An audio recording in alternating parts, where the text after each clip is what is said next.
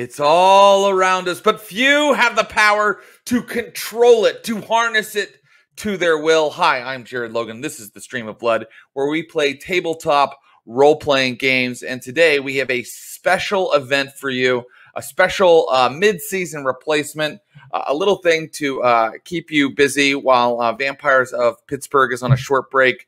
Uh, today we are bringing you Magi of Pittsburgh. You are going to watch uh, as players create characters for and then play Mage the Ascension. Mage the Ascension, the classic game of modern magic from White Wolf Studios back in the 90s. Um, there is a 20th anniversary edition. oh my God. Already my voice is giving out. I'm having a paradox backlash. there is a, uh, a new edition, a 20th anniversary edition that came out several years ago uh, from Onyx Path Publishing. It's a fantastic game uh, that is all about player creativity. Uh, I'm going to get more into the game in a minute. Uh, but before I do, I will just uh, mention the Stream of Blood. Uh, we do like three shows a week on the channel. Uh, we bring you special events like this Mage game, and we survive right now on Twitch subscriptions. So if you have not already subscribed, please smash, I believe is the term, that subscribe button. If you see uh, someone else in the chat watching uh, these mage shows uh, that you haven't seen before, uh, purchase a subscription for them. We really do appreciate it. The next thing I'll say, because I say it anytime we play, well, almost any game, is that uh, Mage the Ascension is uh, kind of an adult game. Um, it's like pretty much 18 or over, at least the way that I play it. Um, it's less likely to have gore and terror and horror than Vampire, but it could have some of those things. It could have violence. It could have mental magics that take over people's minds. Uh, and it could have, you know, uh, adults having adult conversations. So um, if that's the kind of thing that you don't feel like watching, uh, feel free to check out one of our other shows. I will also say that we are always open to hearing your comments, suggestions, concerns, and reactions to our content. And the best place to get in touch with us and tell us uh, your thoughts is on our Discord, the server of blood. So get on the Stream of Blood Discord, uh, say hello. Uh, you can tell us what you thought of our content. Uh, and we do our best to respond, and we take it all very seriously. Um, there's also more fun things you can do on, on our Discord, like discuss role playing games or discuss music or books that you enjoyed. Uh, what's your last fantasy novel you read? Hop on the Discord. I am ready to have that conversation. Okay, um, I'm really excited to bring in our cast. We are going to do a character creation session today, which we don't always do, but I think Mage is interesting enough in the character creation that it warranted doing. Uh, so I'm going to bring in our players, and we're going to get right into it. This first guy, you've seen her, seen him on our uh, on our shows where we play Blades in the Dark as a member of the Kino Hora. Um, he is also uh, a player on the Better Than Heroes stream, um, which you should definitely check out, where they play Spelljammer, fifth edition Spelljammer. That's uh, Outer Space Dungeons and Dragons. Um, and he's a comedian, he's a writer, uh, and uh, we're so happy to have him. Please welcome Aaron Urist, everybody. Hello. What's up, buddy? How's it going? I'm good. I'm good. Um, let me ask you. You said you've been watching Peaky Blinders. I have just started. Yes. Yeah, um, that's a, a, recommended show to watch if you play Blades in the Dark, which you play that game with us pretty regularly. Oh, uh, are you getting any that. Blades in the Dark inspiration from it? Uh, yeah, a little bit. It's yeah, it's very good for blades. Absolutely, it's got that sort of occupies that that dirty, dark world of crime yeah. and villainy and factories. And factories, yes, and absolutely. Smoke, lots of smoke everywhere. That's sort yes. of how you imagine the the, the world in uh, in uh, Blades in the Dark. Totally. Uh, but you said before we started that you think Cillian Murphy is the most handsome man that's ever lived. Is that what you said? He's extremely handsome. I he looks like he's made out of like porcelain. I, I think, think, he has part of it. He looks fragile. He looks. I would. I, I would describe him as having a great look. I don't know about the most handsome man in the world. To me, he's a little pasty. Yeah, I don't know if he's the most handsome man. I don't recall saying that, but he's. You said. I, I think you said the most handsome man that has ever lived in history. I think that's what you said. He's my husband. Yes. Okay.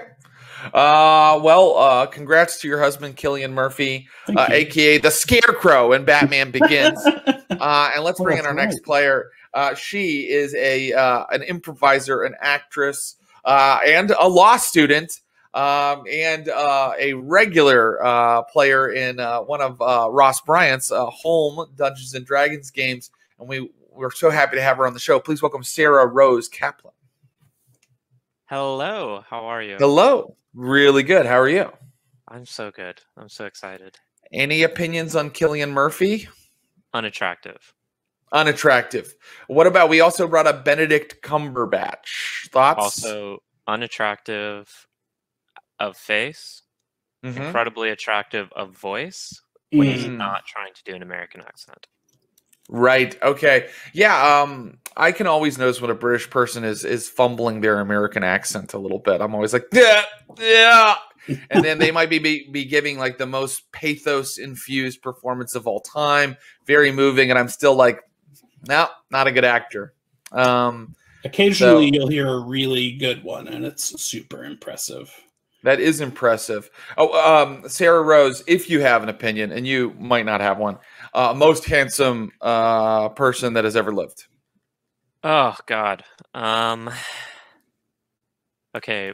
Uh, this is like super basic. My mind immediately jumps to Chris Hemsworth as Thor in Ragnarok. Yeah, that's. I think that's a good contender, right? Uh, but I like that you don't just say Chris Hemsworth as Thor in Ragnarok. So the short hair, the short hair, yeah, sense of humor, like Thor: The Dark World. I don't. I'm not into that Thor, mm-hmm. but you know, funny Thor, funny Thor. I could watch all day. I can get with that. Uh, okay, Funny Thor is your husband. Let's bring in our uh, final player. She is a fantastic dungeon master, actress, improviser, uh, who uh, was once on an episode of Um Actually with me. Uh, the hardcore SOBs know about Um Actually because they found it and posted it in our uh, Discord. Um, we're really excited to have her on the stream with us. please welcome Amy Vorpahl, everybody. Hello! Yay, What's Jared! Up? You won that Um Actually game. I know well, it's not about I, winning. I always do. Um, no. I think uh, I think that that's the most fun game because it's the only game I'm good at. Um, actually, I mean, uh, uh, in terms of competitive games, this is all. You were stellar.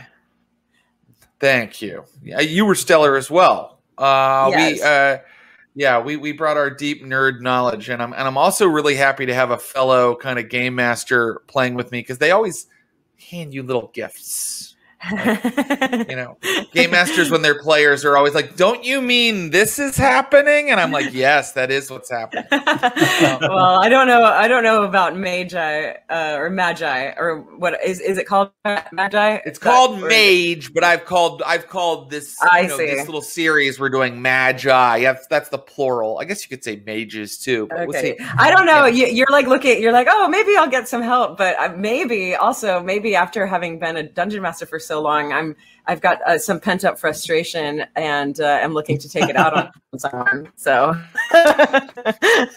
completely fair, and also that's kind of how I when I play, I play that way. I, I always say that I kind of am a Leeroy Jenkins, and I'm kind of like yes. I'm just gonna I'm just going to try to push down all the invisible walls here and see how yes. far off the map we can go. Um, yes.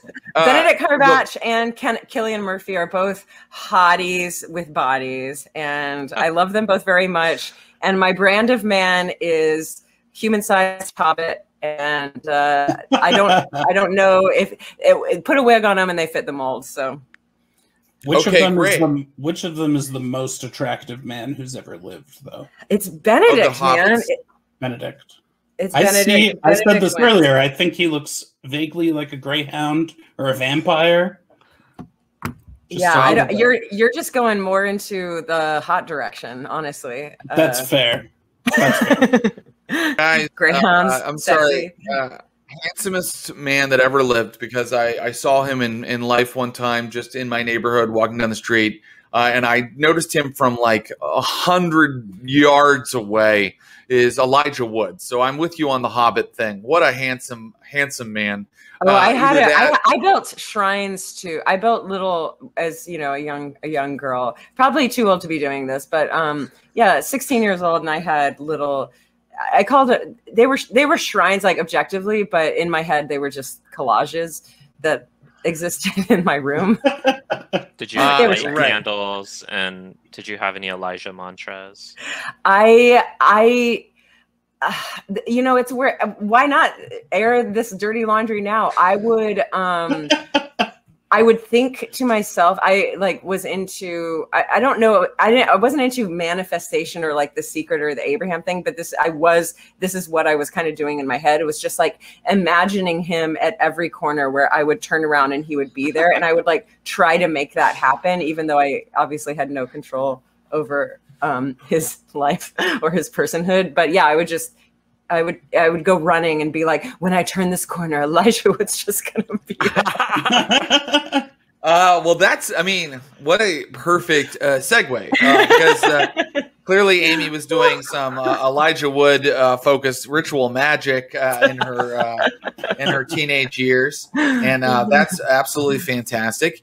And uh, so that's what we're going to talk about today. So Mage is a game that a lot of people say is um, their favorite game, but also um, it's kind of a cult classic, I guess, at this point. Some people don't remember it. Everybody remembers people running around and pretending to be vampires, mm-hmm. but they don't remember Mage. That's the one they made after Werewolf. So more people remember Werewolf, and then less people remember Mage. But Mage is maybe my favorite of these things that they made, and and it's a lot of people's favorite, but also a lot of people say it's impossible to play because it is kind of. Uh, oh yes, my wife. Yes, you can bring my coffee right in, darling.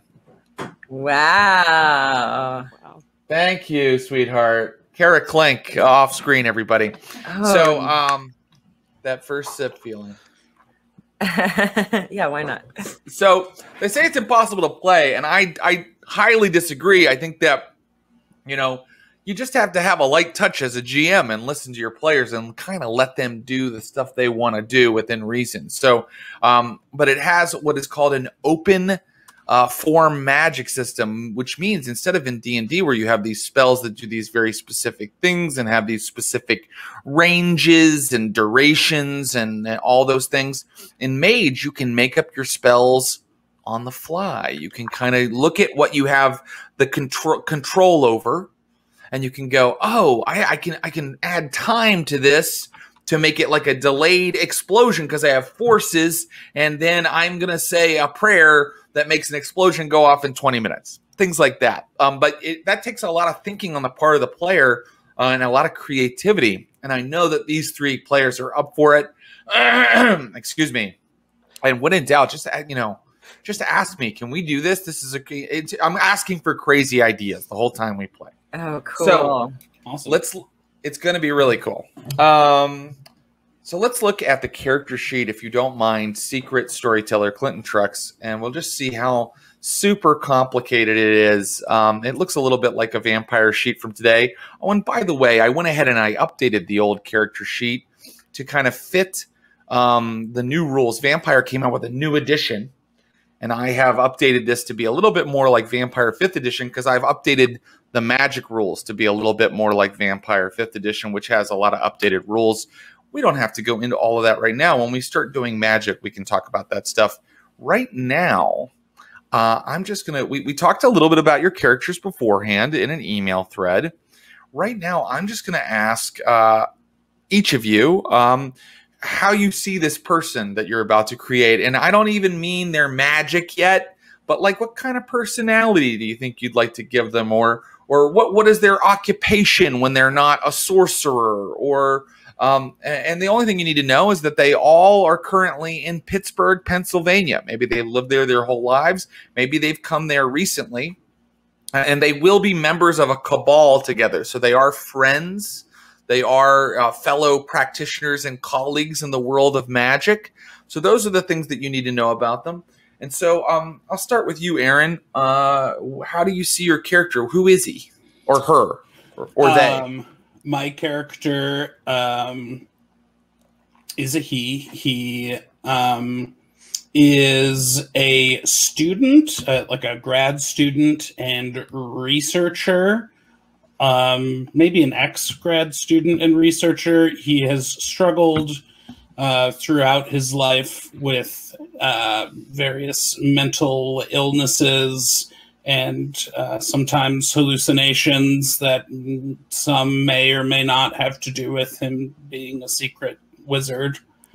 Um, and he has uh, sort of a brilliant but troubled mind um, for uh, math and words. Uh, he also comes from a um, partially from a strict Jewish uh, background that he was eventually taken out of as a young person and drifted in and out of, and that uh, has influenced his uh, sort of both his uh, like mathematical uh, hypotheses and his mental illness and his magic.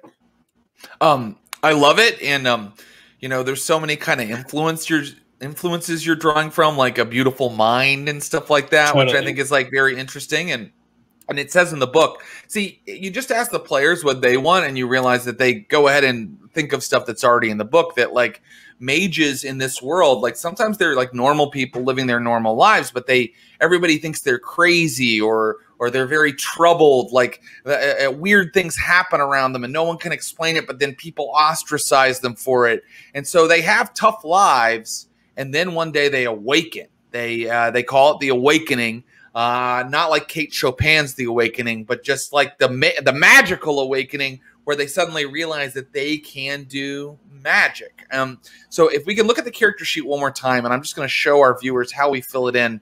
So, for example, we're going to start with your attributes, and I think we have a clear idea of your character from what you described right here. So um, you're going to uh, prioritize the three things up top. You see under attributes physical, social, and mental. You're going to tell me which one's the most important, which one's second, and which one's the least important. Um, and I'd say mental is probably his most important, right? Definitely. Yeah. Great. And then do you think physical or social is second? Um, probably social. Great. Um, then that would leave uh, physical as our tertiary. So you're gonna um, place, uh, and we'll just go ahead and place them right now if you don't mind. Clinton Trucks like on this sheet, and then we'll erase for our for our fellow players. Make sure you're putting it on your sheet at home, Aaron, so you have like a, a permanent copy here. Sure. Um, Actually, but, um, I, I sort of want to switch that up. I think physical might be second, and social might be third, because I don't know how great he is with yeah people. No, that makes sense. And you know, he might have some composure. Um, I should explain what some of these things mean. Composure is your ability to stay calm, to stay centered, to focus, right? Mm. Uh, and under mental resolve is kind of like your like willpower, stick to itiveness, uh, belief in yourself, stuff like that. Oh, I don't so, even have that on my sheet. I think I have the wrong character. Uh, we sent a we sent a new sheet, a new sheet that has been updated uh, that looks like this one with the uh, with the stream link. So um, go ahead and throw that up. I will uh, make uh, sure to get that up. Yeah, and then uh, let me know. Like uh, you're gonna put dots on into these things based on what was the most important to you. For example, here under mental, you're gonna put seven more dots into mental. So if someone has zero dots, that means they don't like they would have zero intelligence, which means they wouldn't be able to be a playable character. So you start with one in everything. no, it's true. Uh, if you had like zero zero dexterity, you wouldn't be able to like walk. Um, right. So uh, so uh, let's let's let me ask you seven dots in mental, Aaron. Where do you think they go? I think. Um, hmm. Can I share a dot story real quick? This is yes, going to be please. very fast. But in Australia, the way that they the slogan for Domino's pizza because Domino's have the dots on them or the pips or whatever you want to call them, but yeah. their slogan is who's got the hots for what's in the box with the dots? No. and it's but in an Australian accent. Who's got the hots for what's in the Yeah. box with the dots? He, he's got the hots for what's in the yeah, you already. So it's like they they just are playing on that aw sound over and over and over. What about well, who's got the hots for the dots? Why not just go to that? Who's got the hots for Hots what's the- in the box? Because then they'll forget that it's in a box, Jared. Ru- Yeah, oh, you. okay. I mean, Domino's isn't actually. That's a good point. But it, the thing is, it's Domino's, so it's branding. They're not advertising the dots on their box. They're advertising what's in the box with the dots. So Oh, Remember that seven tie-in for Domino's like uh, many years ago, where it was just like, "What's in the box? Pizza." it's, it's just pizza. It's just pizza, Brad Pitt.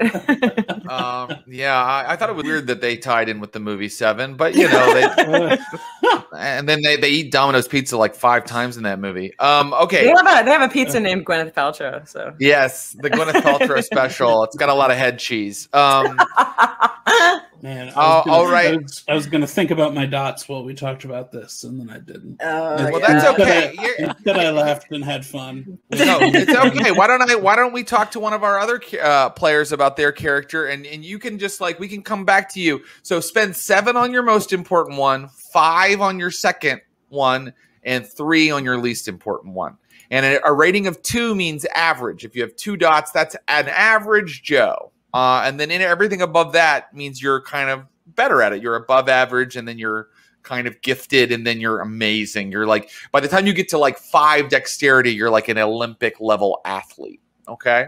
Um, so that's just an idea of how that will work. Oh, and, and we have Clinton Trucks, our secret storyteller, in the uh, in the in the room. What's up, Clint? Uh, I just wanted to uh, add something to the game real quick. yeah, this is good. This is good. Oh, I didn't know it was a song. I I also Amy, you didn't didn't know say that. it was a song. I didn't know. I didn't know because I stopped when I learned that because I was like, that's good and that's good enough. I never went further than just knowing that. Um, I think that you made the right choice, and now we all have to live with the song. yeah. Um, thank you, Clinton Trucks. Um, let's let's Amy, since uh, since we're uh, since you uh, you brought the this song into our lives, it's now your turn. okay. Um, that's how fair. do you see uh, your character as a person? What do you who, who do you think that they are? Before we get into all their magic and stuff, Yeah. Well, they? I think she's had a bit of a rough life. She's got a very dysfunctional family. Um, uh, she's she her, uh, and her name's Charlotte. People call her Charlie. She's she's a bartender. Um, just and and just has been. She kind of worked her way up from bus girl to server, hostess to bartender um, at just a, a local dive, uh, Marty's, and they they they service the blue collar crowd. So just like two dollar, one dollar beers, that kind of thing. Beautiful. Um, I actually really love that. Um, Marty's. I'm just writing it down because Marty's. it's important. Uh, I should write it down too because I just came up with it. well, no, it's good, and it does sound like a Pittsburgh dive bar. Um, uh, and uh, so uh, with that with that kind of sketch in mind, which is perfect, um, what do you think is her most important? Physical, social, or mental? Social would be most important. Great. And so um, charisma, I think, speaks for itself. It's her kind of magnetism. Manipulation is uh, I, you you understand that it's deceiving or or getting people to do what you want, uh, maybe against their will. And composure is what I explained earlier. It's kind of your your cool, your calm, collectedness. So um, you have seven dots to spend here. Where do you think you'll put them? So with seven, I think I'm gonna do charisma for three for sure. Um, composure for two, um, and then manipulation for two. Great. So she's a social she, she's a social powerhouse and, and she's and she's good at like all all uh all three of the social things. Um, Clinton Trucks is filling that in. It looks like he's having trouble, but we're gonna go ahead and uh, uh, trust that he can get it. Uh, and then uh, it what do you won't think? click for me, Jared. It won't click. I'm trying to Well, click and it won't uh, click. I, have I a got it. about the dots. So uh, when I bring up this character sheet, it starts with one dot in every ability. Yes, and that is that's, that that's is the way it's supposed to be. that is You the way start it is supposed one? to be. Got Yeah, it. because if you had zero wits, you would just be a hapless fool. You wouldn't be able to even be playable as a player character. So everything starts at one. Clinton Trucks, uh, thank you for trying. We, we we get it. Amy's got her sheet taken care of. Um, what's next, Amy? You think physical or mental for Charlotte? Um, I think as a bartender, I mean, she she probably has a bit of bouncer in her, so I'm gonna say physical.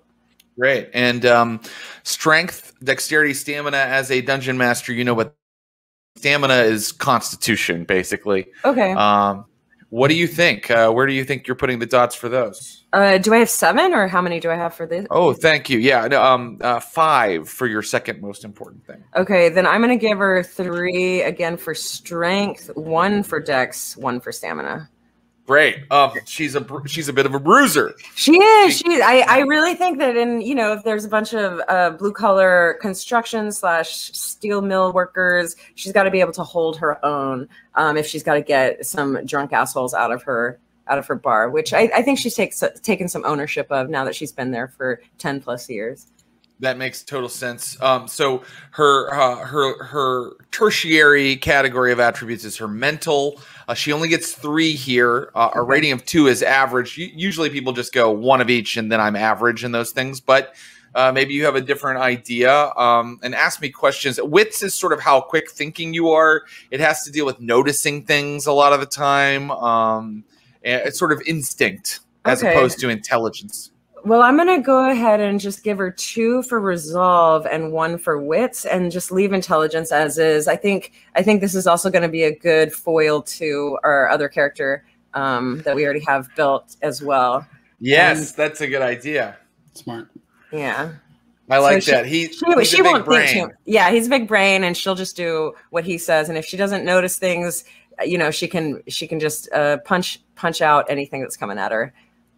Great, and um, uh, that's perfect. And speaking of our, our other character, does he have a name yet, uh, Aaron? We have Charlotte. Do we know what uh, what our grad student's name is? His name is Avner. You can call Avner. him I love it. You can call him Avi.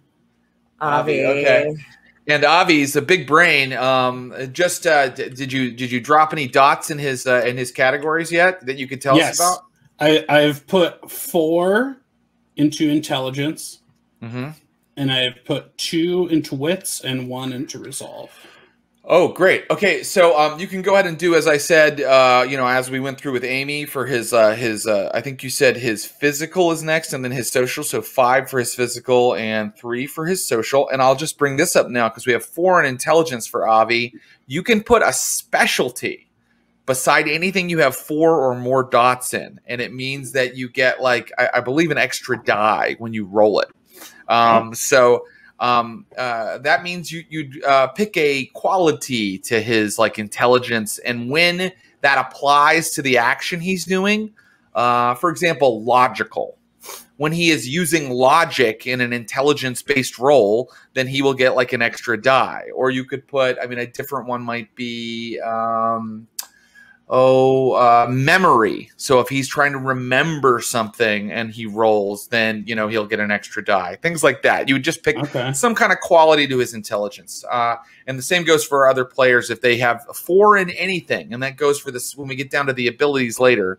Um, you can add a little a little uh, word or name or, or spec- specificity to it that gives you a little bonus. Um, Sara, let's talk about your character. Who do you see this person as? What, who what are they like? Yeah. Um, I've been on a journey with this character. Uh, she's changed many times, but her final form, Maria Stone, Okay. is a bash the fash queer street medic. Uh, part she's part of the Queer Liberation Front. They're a group of street medics active in the Pittsburgh anti-fascist scene, and I Oh imagine God. her. She's um. I- I have a whole backstory here, but I won't. Well, get into it. please, no, no. You, I mean, look, give as much as you want, and and don't worry. Like if if I, I'm like, okay, we have to move on, I'll just uh I'll just tell you, and you, you know, Okay. that's fine. Yeah. I'm thinking um, the Queer Liberation Front that she's a part of is an offshoot of a much more pacifist queer magical coven that would have descended from the Institute for Sexual Wissenschaft, uh, Magnus Hirschfeld's. Um, and after the Institute for Sexual Wissenschaft was kind of uh, destroyed by the Nazis during World War II, and the survivors made their way to the United States, they started living in secret and practicing all sorts of body modification magic. It was a trans magical community, um, but they didn't want to be found out. But the Queer Liberation Front is the modern iteration of it. They can't live in the shadows anymore, and they um, they work as street medics because they have so much experience in in sort of medical magic. Um, I absolutely love it. I think it's a really, really kind of compelling kind of um, role, you know. Um, uh, so uh, tell me about Maria. Um, and what do you think uh, her her primary is? Is it social, mental, physical? It's social, for mm-hmm. sure. Specifically, composure. I think the four points go four points for composure. Uh, so you're gonna bring it all the way up to five. Yeah. Great, I'll allow it. Um, and then that leaves you with uh, three more points. Um, where are you going to drop those? Uh, two in charisma and one in manipulation. Great. Um, and then do you think uh, mental or physical is her next uh, spot that she goes? Well, I'm thinking about that. Um, to get not not to preview the magic a little bit, I've I've been reading my Mage the Ascension guidebook. Mm-hmm uh, even though she is sort of a bruiser in in the context of a street brawl, uh, I think she gets that more from her life magic that she uses to strengthen mm-hmm. herself up. I think her natural points probably come are in mental and then physical. Great. And when we get down to the abilities, you know, you could just put a lot of dots in your brawl or like those uh, those abilities that will help you be more of a combatant if that's what is that if that's how you see her. Um, and, and you can go, you know, kind of less dots in physical right now, and that's fine. And like you said, life magics will help as well. So um, so great. So um I'll, I'll, go ahead and just let you place dots. We don't have to go, you know, I don't have to hear like where every single one goes. Uh, if there's something you want to mention or ask about, please do right now. Uh, but, you know, fill in uh, five dots for her mental uh, and uh, three dots uh, for her physical. Um, and I, am already kind of getting excited because I can see like like a character like that. Um, maybe so, some of the traditions that she might belong to. Um, and uh, I've talked about that a little bit with Aaron, uh, his character, like maybe what kind of groups have been trying to recruit him because there are all these magical secret societies in this game, and they're very fun to kind of mess around with. And uh, I've determined that they do give like a, a, little bonus in terms of XP when you learn new magic or um, when you are actually practicing magic with certain spheres. Um, but we'll get into that in a minute. I don't want to quite get into the, the, the magical side of their lives quite yet. Let's now talk about abilities. You'll see uh, that there are now three columns of abilities beneath your attributes. And those are uh, things that might be called skills in other games, but uh, skills is just the middle category, which is like very practical, kind of hands on stuff talents are sort of more uh, intuitive things that people are born with or have a knack for, and knowledges are things that people know. Um, and so you will now uh, prioritize these things uh, by uh, choosing the most important one, which will get 13 dots, the second one, which will get uh, nine dots, and the least important one, which will, which will get five dots. Um, rather than going into every single dot for everybody, uh, which would become incredibly tedious uh, and uh, kill the magic. Uh, I'm just going to ask you a little bit about, you know, where you're throwing some of your dots and what you think your most important thing is. So let's go in reverse order now. Sarah, uh, where do you think uh, Maria is putting a lot of her um, her dots? Where's her like 13 area? I think her 13 area um, is probably in talents. Talents, right? Um, and where are you? Where where what what kind of um talents are you looking at that you kind of want a, a couple dots in? I'm thinking specifically brawl, streetwise, and awareness are probably her three main in her three main talents. Yeah, absolutely. Um, and uh, so go ahead and put 13 in there. Uh, and then what do you think her second category is? What's what's Knowledge. where is she going to get nine dots? Knowledge, knowledges. So now that we're over on knowledges, there's a couple things that you know. I mean, obviously, people might be like, "What? What is? What is that?" Um, uh, enigmas is sort of like solving mm, mm, not mysteries in the terms of like, wait, there's a footprint here. Who murdered this man? But like, sort of like the big kind of uh, magical mysteries and and problems and uh, and strange entities. Like, what what does it want? You know, things like that.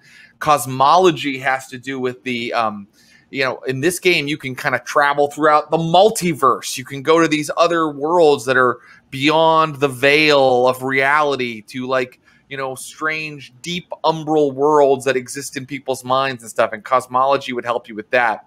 Esoterica is exactly what esoterica is in real life. It's kind of like um, fringe beliefs, um, uh, you know, uh, rituals uh strange or not strange i don't want to say strange but sort of maybe obscure religions and it would help you identify perhaps someone else's magic or um, apply rituals to your own magic to get little bonuses and things like that. And and occult is knowing just about like uh other mages, but also like werewolves or vampires or ghosts and how to deal with those things. That's what a cult is, as well as, you know, um, UFOs and uh, conspiracy theories and all the things that would fall into the occult section of the bookstore. So that's my long winded explanation of all of that. And uh, I will go ahead and let uh, Sarah uh, fill in 1395 for Maria. And then I will ask Amy. Uh, where, where do you think uh, where do you think Charlotte's uh, her main uh, column is here talent skills or knowledges I think we go 13 for skills, nine for talents, and five for knowledges. And perfect I really want, I like the idea of this bonus situation. So I'm going to put four for sure in etiquette because I'm also getting a vibe that, um, as far as even though she, she and, um, uh, sorry, what, uh, Sarah, what was your character's name? I- Maria. Maria. So she and Maria are gonna be like fighty fighty babies. Um, I also like the idea that her bartender slash bouncer could also talk things down. So I'm gonna put I'm gonna put down um, etiquette for four and try to get a bonus up in there. Yeah. Um, yeah de-escalation or um, de-escalation. Well, yeah I, I put a I put in well maybe maybe that's a better. what did you put in Okay, so so I have four in strength and charisma as far as attributes. So my strength, I said security, uh, which sounds vague enough that maybe you'd let me use it in, in whatever situation I want to, um, as long as I'm securing the situation. Uh, and i then mean maybe yeah, maybe. And then charisma, I wrote I wrote simmer down, but maybe etiquette is is simmer down.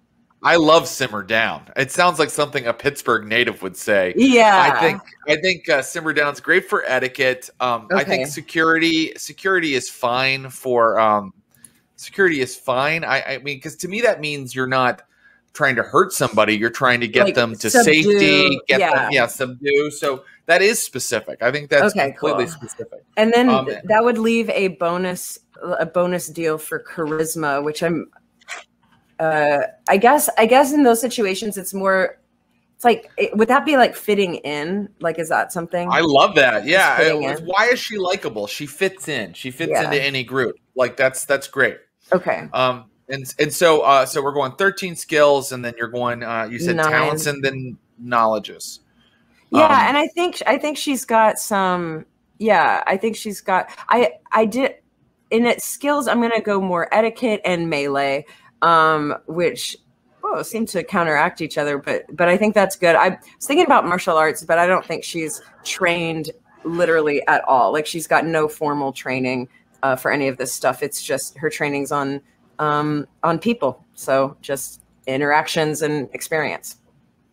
Perfect. Uh, that all makes sense, and uh, I'll go ahead and let you fill in all of those dots. Uh, anybody interrupt me at any time if you're like, "Wait, how many again for this?" and I will help you. Um, finally, let's talk about Avi. Uh, Avi, what do you think his is he going talents, skills, or knowledges for his most important? I think for the 13, Avi is going to go with knowledges. Mm-hmm. And the secondary will probably be skills. Mm-hmm. That makes sense. And then talents. And then talents. Okay. Uh, and um, where is he getting a lot of dots in his knowledges? That's what I'm curious about. I'm curious about that too. Uh, I think academics and science are sort of no brainers, mm-hmm. just given his background, but I'm trying to figure out what he would be good at. I think he would take to computers pretty well, given I um that sort of brings me to the for the extra what's it called when you have uh, four dots or more? A specialty. A specialty. I put cryptography. Mm, I love it. Um, I will say, you know, um, since you have 13 dots to spend here, and and now we are finally getting a little bit into the magical side of our characters, and it's it's happening happening naturally, which I love. You kind of when we talked to, uh, off off uh, kind of said maybe Kabbalah plus mathematics is right. kind of part of his. Um, That's where I'm getting the cryptography. Is that I think he applies the rules of gematria, which is uh, sort of Jewish slash Hebrew numerology. He applies that to like big mathematical ideas in ways that sprawl out and get fucking crazy. Uh, I love it. Um, uh, I think uh, enigmas, esoterica, and even cosmology. Because I know, I mean, yeah. if he branch, if he branches a little bit out of gematria into Kabbalah, a little bit, that is definitely about like the construction of the universe, right?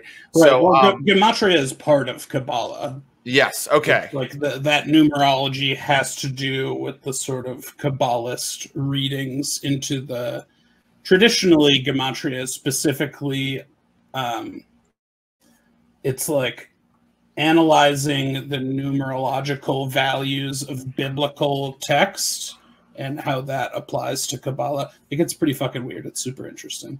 Well, here's why people say Mage is a hard game to play because not everybody can bring Aaron Urist's Gematria uh, to the table. Sure. Um, but but we all have our own little weird uh, obsessions or, or, Wikipedia rabbit holes we have gone down, and that's why I love this game because that's what you make a character based on your favorite Wikipedia rabbit hole. Exactly. And it doesn't have to be Gematria; it could be serial killers or rabbits or I don't know, whatever the thing is, the weird thing is, astrology, whatever the weird thing is that you're interested in, you can turn it into kind of your character's magic. So I'll leave you to do your 1395 for your abilities. Um, uh, Sarah and Amy, have you kind of finished those up? Or you feel like you're getting to a stopping point with those? Great.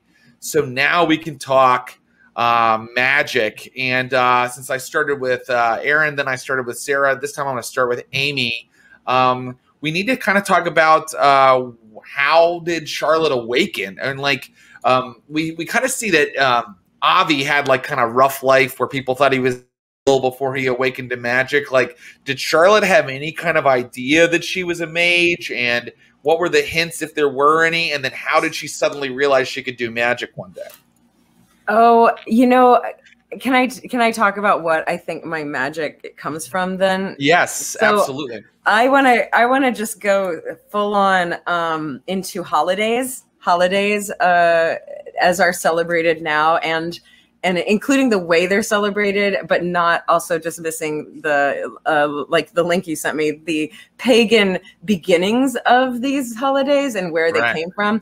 Um, but really honing in on consumerism and that kind of thing and having a bar and managing the money but also you know planning events for the bar would be oh it's st patrick's day which is probably the biggest day in the for for the bar for marty's um so so i think i think I think Marty's the bar was always a home, more of a home for her than than her actual home, where it was just super dysfunctional. And I'll decide specifics on that later. But you know, a lot of lot of uh lot of mental abuse for sure and uh, maybe some even physical abuse and then marty's was just she she had power there so she loved it there and when and her responsibilities started growing and growing and soon she became she just loved the the holiday spirit of every single holiday. She got to decorate. She got a budget. Um, and then there was a whole sense of community around that time. So I think she probably awakened on a real a real stupid day, um, like Valentine's Day or something. Oh where- wow, interesting. Okay, um, I love it. I mean, I, imagine like you, you know, it seems like she's been in that bar so long. Like maybe she was there as like a little girl with her dad on the stool beside her. You know? Um, Oh, it wouldn't be her dad. It would be someone outside of her family, I think, because I think her family is is real problematic. Um, Ooh, but- yeah. but yeah, like a, a a local a local. I like a, I like the idea of a fa- father figure, a local man who maybe took her under his wing. Um, maybe Marty himself. Screw it. I think Marty himself. Yeah, it's Marty. Why not? It's Marty. Oh. and um and just the the idea of like the days and the calendar um that definitely like goes toward um witchcraft in interesting ways uh and uh when we are talking about secret societies and like the types of mages uh, that exist out there, you can be an orphan mage, which means you're completely uninitiated. You haven't joined any of the secret societies yet okay. you're kind of making it up as you go along or i think for you um, you might be a part of an organization uh, only if she would be interested in joining them uh, who are called the verbene. And the verbene are like witches. And they basically would they would do kind of the, the wheel of seasons magic and be teaching her a little bit about uh, you know wiccan practices and earth power and things like that. Um, and, and basically how uh, the seasons, the changing of the seasons can be worked into your magic and things like that. But I'm fine either way. Like maybe maybe they tried to recruit you and you said no. Maybe no one has found you here in this bar. Like uh, you're like this sort of raw talent. I mean, it's really up to you. It's what you feel would be mo- most exciting to play as a character. Okay, cool. Um, I mean, I like the idea that she's in the middle of getting getting um familiarized with how the magic works and she gets it wrong. Um, maybe, but but I mean, she still can do it. But I mean, even you say verbene, and I'm like, is that verbena? Um, which is just, I think, a moisturizing agent. Uh, it is. It is. It is. Uh, maybe I'm just pronouncing it differently. I think that you are. you- You're right. It is. It, it's like an herb. Uh, Yeah, and an so herb, named yeah. themselves off of, off of this herb. That so the verbena, they do life magic is their primary thing. oh, I Um, see. Yeah, as their as their like main specialty. And if you if you joined them or if you were initiate of them, you would get a little bit easier uh, time when you do life magics. But you certainly don't have to. And I can also, if you're like, uh, tell me what are the other groups, I can talk to you about those. Or you can just go, I'm on my own. No one's discovered me yet. I'm like a complete raw talent. I'm in What- danger, basically. Oh, I'm in danger. Okay, so so I guess joining a magical uh something with a magical title uh, that that provides protection is what you're saying? It can. It certainly can. Uh, it's called a. They call them the nine magical traditions, Okay. um, and they they're all these traditions are secret societies, and uh, that would mean you maybe have a mentor teacher who's kind of teaching you. We could put give you dots for that. It might mean that you've gotten like some kind of magical treasure or like item that you can use. Um, you would have access to resources and yes, people to protect you, keep an eye on you. Uh, but sometimes people just they- they're interested in that that story of like Neo waking up one day and having the agents come after him. So um, it's it's totally it's totally your call. I think I think I like I I think her I think her past is is um just dark enough that maybe maybe she does maybe maybe let's put her in a thing. Let's give her a group. I like I like the idea of the wheel what do you call it the wheel of the year life the wheel of the year. Yeah. Yeah, let's Um, do it. Great. Okay, so um, let's uh, just bring up the sheet so I can show you uh, the spheres of magic. So Okay. the spheres are down there underneath what you filled in for your abilities, and um, these are the things that your character can control uh, magically. And you get six dots, uh, but one will automatically go into life if you have joined the verbena. Um, and so uh, Okay. um, the more dots you have in something, the more control you have over it. Um, so I have five left to spend, or do I have a six? You have five left to spend. I yeah, one must spend. go into life if you're going to be a member of the Verbine.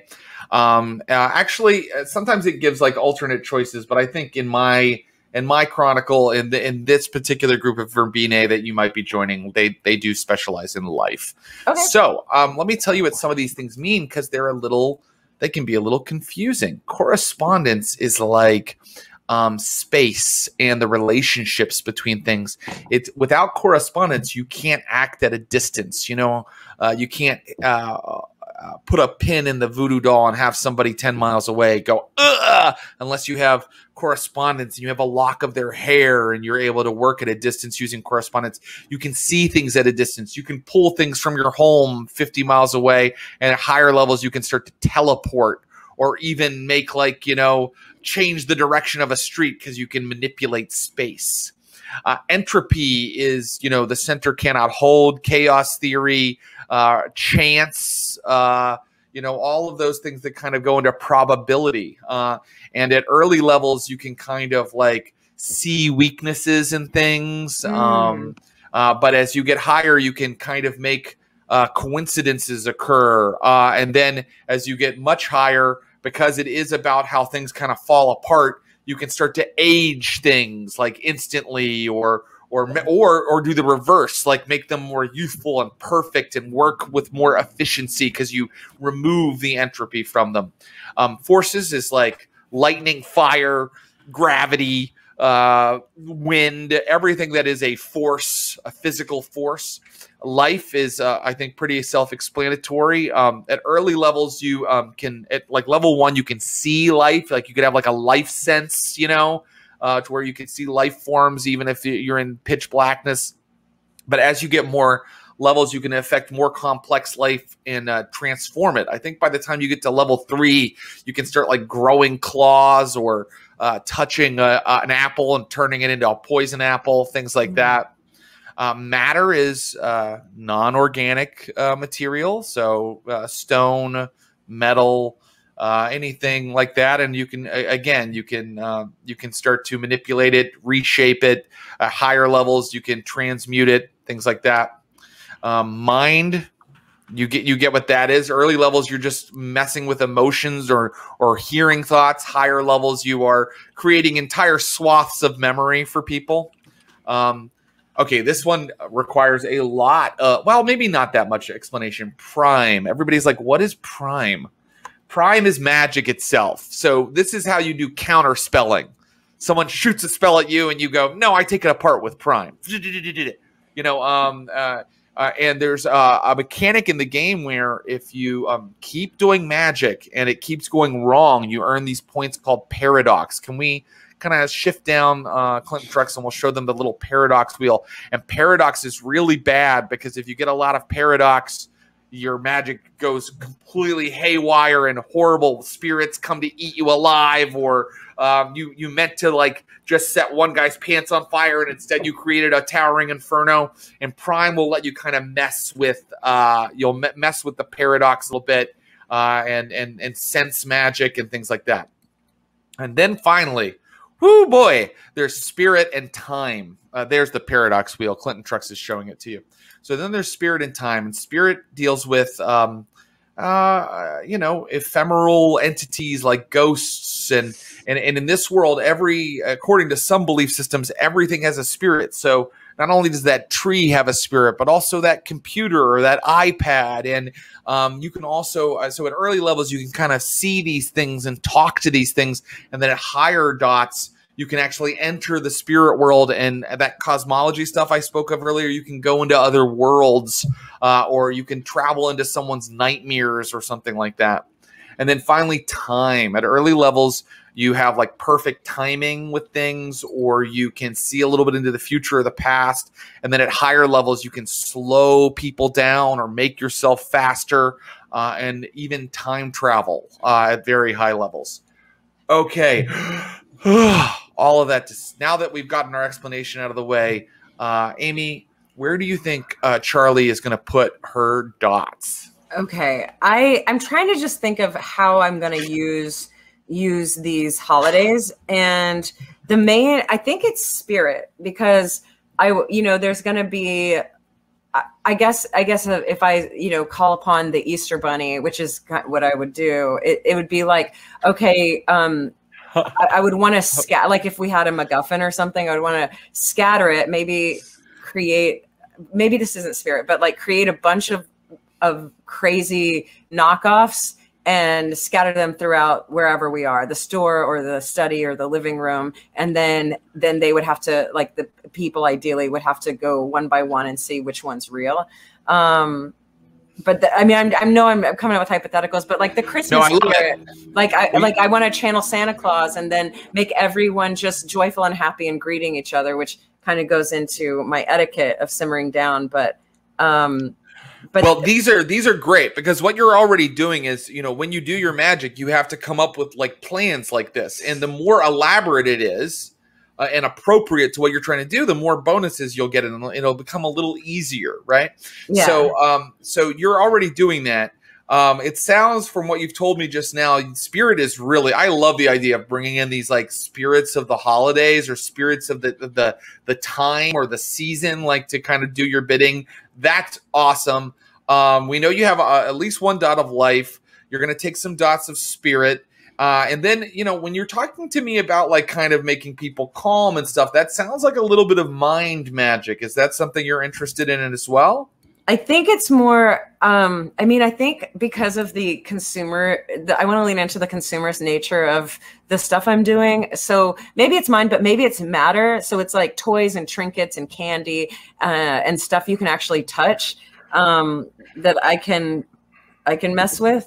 Uh, like the beer, you know, like if if I'm able to make people channel St. Patty's or something, and and then make everyone. Oh, maybe that's mine. Like make them a little bit buzzed um, yeah, so matter would allow you to to alter matter and do things with matter, which I think is super cool, and I love the idea of like being the perfect beer, uh, you know, uh, creating the perfect beer for somebody. And you could with matter. See, so there's multiple ways to do the same thing. You could okay. with matter if you had like a little bit of chemical knowledge, like just like spike the beers with something that calms people down using matter magic, or kind of like use a combination of mind and matter or just use mind, right? Like that your ritual is like giving somebody a perfect top on their beer. That's your ritual. And then you're using like mind too to soothe their emotions, right?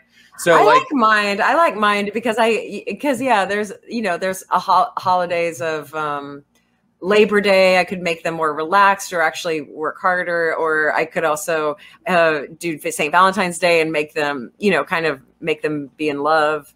Uh, yeah, that makes like a lot mine. of sense. That makes a ton of sense. Um, so uh, six dots altogether. One has to go in life. Let me know. Uh, you can tell us in a minute. You can go yeah, ahead and fill those in. Okay. Uh, but it sounds like mind, spirit, those are great things. And if you have a question, just let me know. Um, one one question. Yeah, one, great. Just will you do entropy one more time? Just tell me about that. Yeah, it's like chance. It's like it's kind okay. of like uh, the center cannot hold, uh, chaos theory, probabilities. So um, at early levels, you can kind of nudge chance. So um, well, at like first level, you can just kind of like sense weakness or um, seek out a coincidence, and it'll happen for you because you can kind of like just search for that one moment when somebody comes out the back door of the kitchen okay. and the door's open.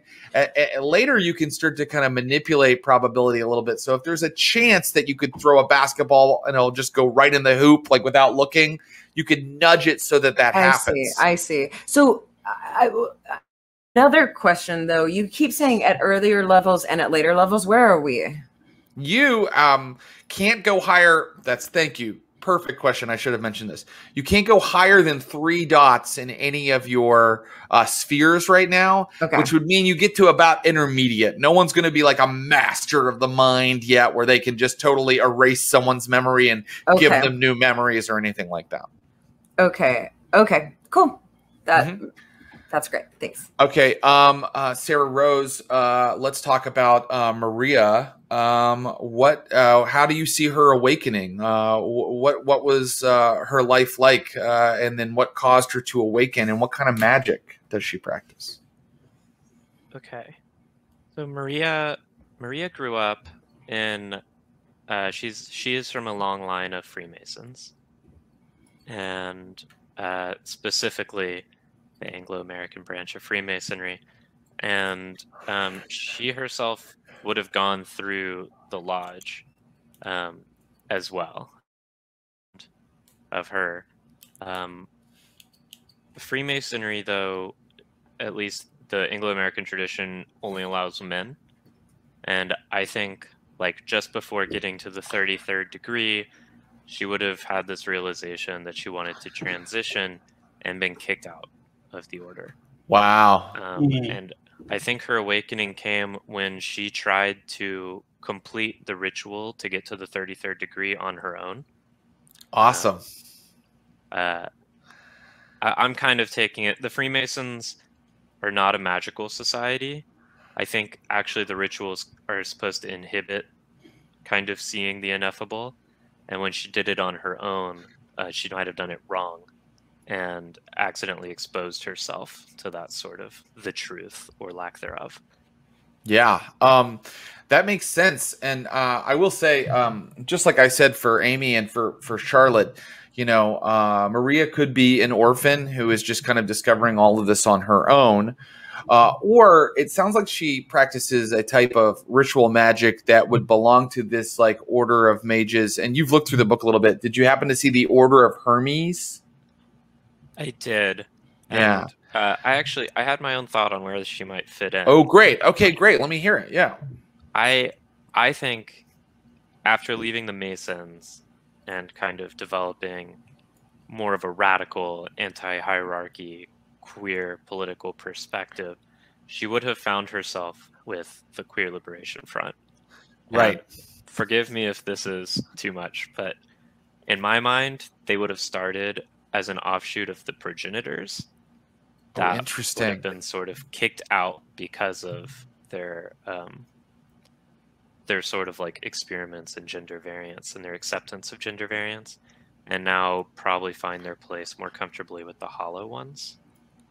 Okay, okay, I love that. Um, yes to all of that. So, uh, the progenitors. So that you've actually helped us get into another thing about the game. So there's a war on between all the magic people, uh, which is why you might be in danger if you're an orphan and you don't have a, a secret society backing you up. And some of the magic people aren't magic people; they're science people, and they're the people who have put all the rules of reality down for us in our current horrible technocratic uh, you know, uh, dead in the mind deadening world of social media and pollution. And, uh, you know, they think that they've created the best possible world, the technocrats. Uh, but uh, many people disagree. Probably your characters disagree if you are part of a more magical, mystical tradition. Um, and you are saying that you were formerly, or your your organization at least was formerly a part of the progenitors, and the progenitors are technocrats. They're part of the technocracy who deal with life. So uh, pharmaceutical companies are, are kind of puppets of the progenitors. Um, uh, biotech companies, um, genetic manipulation, and they can do things that are on the cutting edge of science in in, in terms of medicine and in terms of genetics. Um, and uh, I love that. That uh, do you think that she was actually indoctrinated into the progenitors before uh, before before leaving a Hollow One, or do you think that her organization just used to be part of it and broke off? I think her, the organization she's in would have broken off. It- Okay. It would have started back with, you know, the Institute for Sexual Wissenschaft when people first started experimenting with sort of gender transition medicine. That's when they would have been kicked out, I think, from the broader body. So they would have split back in like the 1930s. Okay, great. And so they've become this kind of like uh, offshoot or affiliated group of the Hollow Ones, and the Hollow Ones are. Uh, well, why don't you describe them since you you've kind of chosen them? What do you like about them? My understanding of the Hollow Ones is they are a loosely affiliated collective of various smaller groups of um, of mages who don't nec- aren't necessarily united by a certain magical tradition or or magical paradigm, but instead are united through their countercultural posture, their anti-establishment. They they reject the attempts to control them from the technocracy, but also don't fit comfortably into the hierarchy of the nine traditions.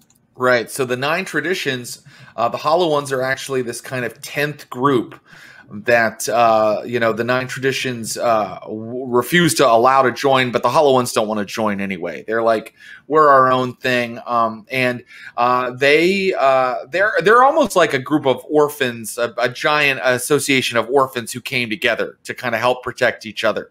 So um, I love it. Uh, I approve all of that. Where do you see uh, Maria's spheres going?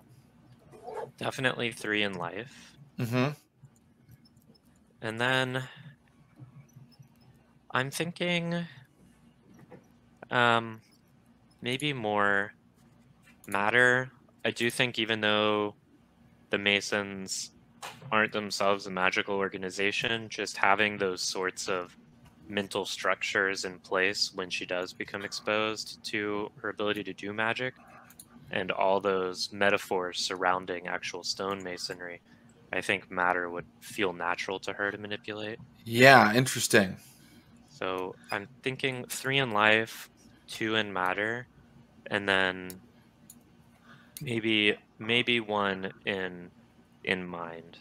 One in mind. Okay, yeah, that'll allow her to kind of sense things, sense surface thoughts, sense emotions. Um, uh, I, I love it, and uh, I think uh, what an interesting kind of like. Um, you know, there's a couple different influences that go into her magic, which is why the nine traditions would kind of reject her. Maybe they'd be like, "What masonry and uh, you know, a sexual Wissenschaft? What are you talking about? Like, you need to learn how to be a shaman." You know what I mean? You're like, uh, "No, I do this kind of my own unique style."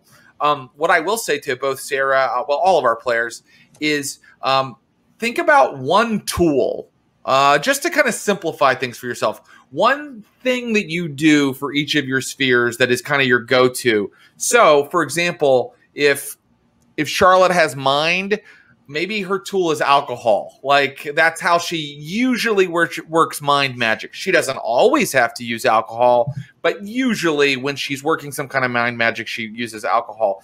Uh, like you're saying with matter, uh, Sara Rose, like maybe you know you have a trowel or you have your Freemason accoutrement, like your the you know the the, the sash and stuff like that. You know, uh, Freemasonry tools. You'd write, uh, and then whenever you're matter magic, you you you break those out. If you want to do a more elaborate ritual or use something else when you're doing magic, you can. But that's just so you you have one tool for each sphere that you have, so that when you're improvising on the fly, um, you're not at a loss having to come up with a whole elaborate ritual every time. You're like, oh yeah, I'm using my Freemasonry tools again. Okay, got it. Um, so finally, we, we've talked a lot about uh, at the beginning about Avi here, uh, Aaron, and uh, I really like. Uh, I think I kind of have an idea of his journey, but tell me about his awakening, and then let's talk about his magic. Um. Yeah. His uh his awakening, I think, happened when he was uh, forced to join the military.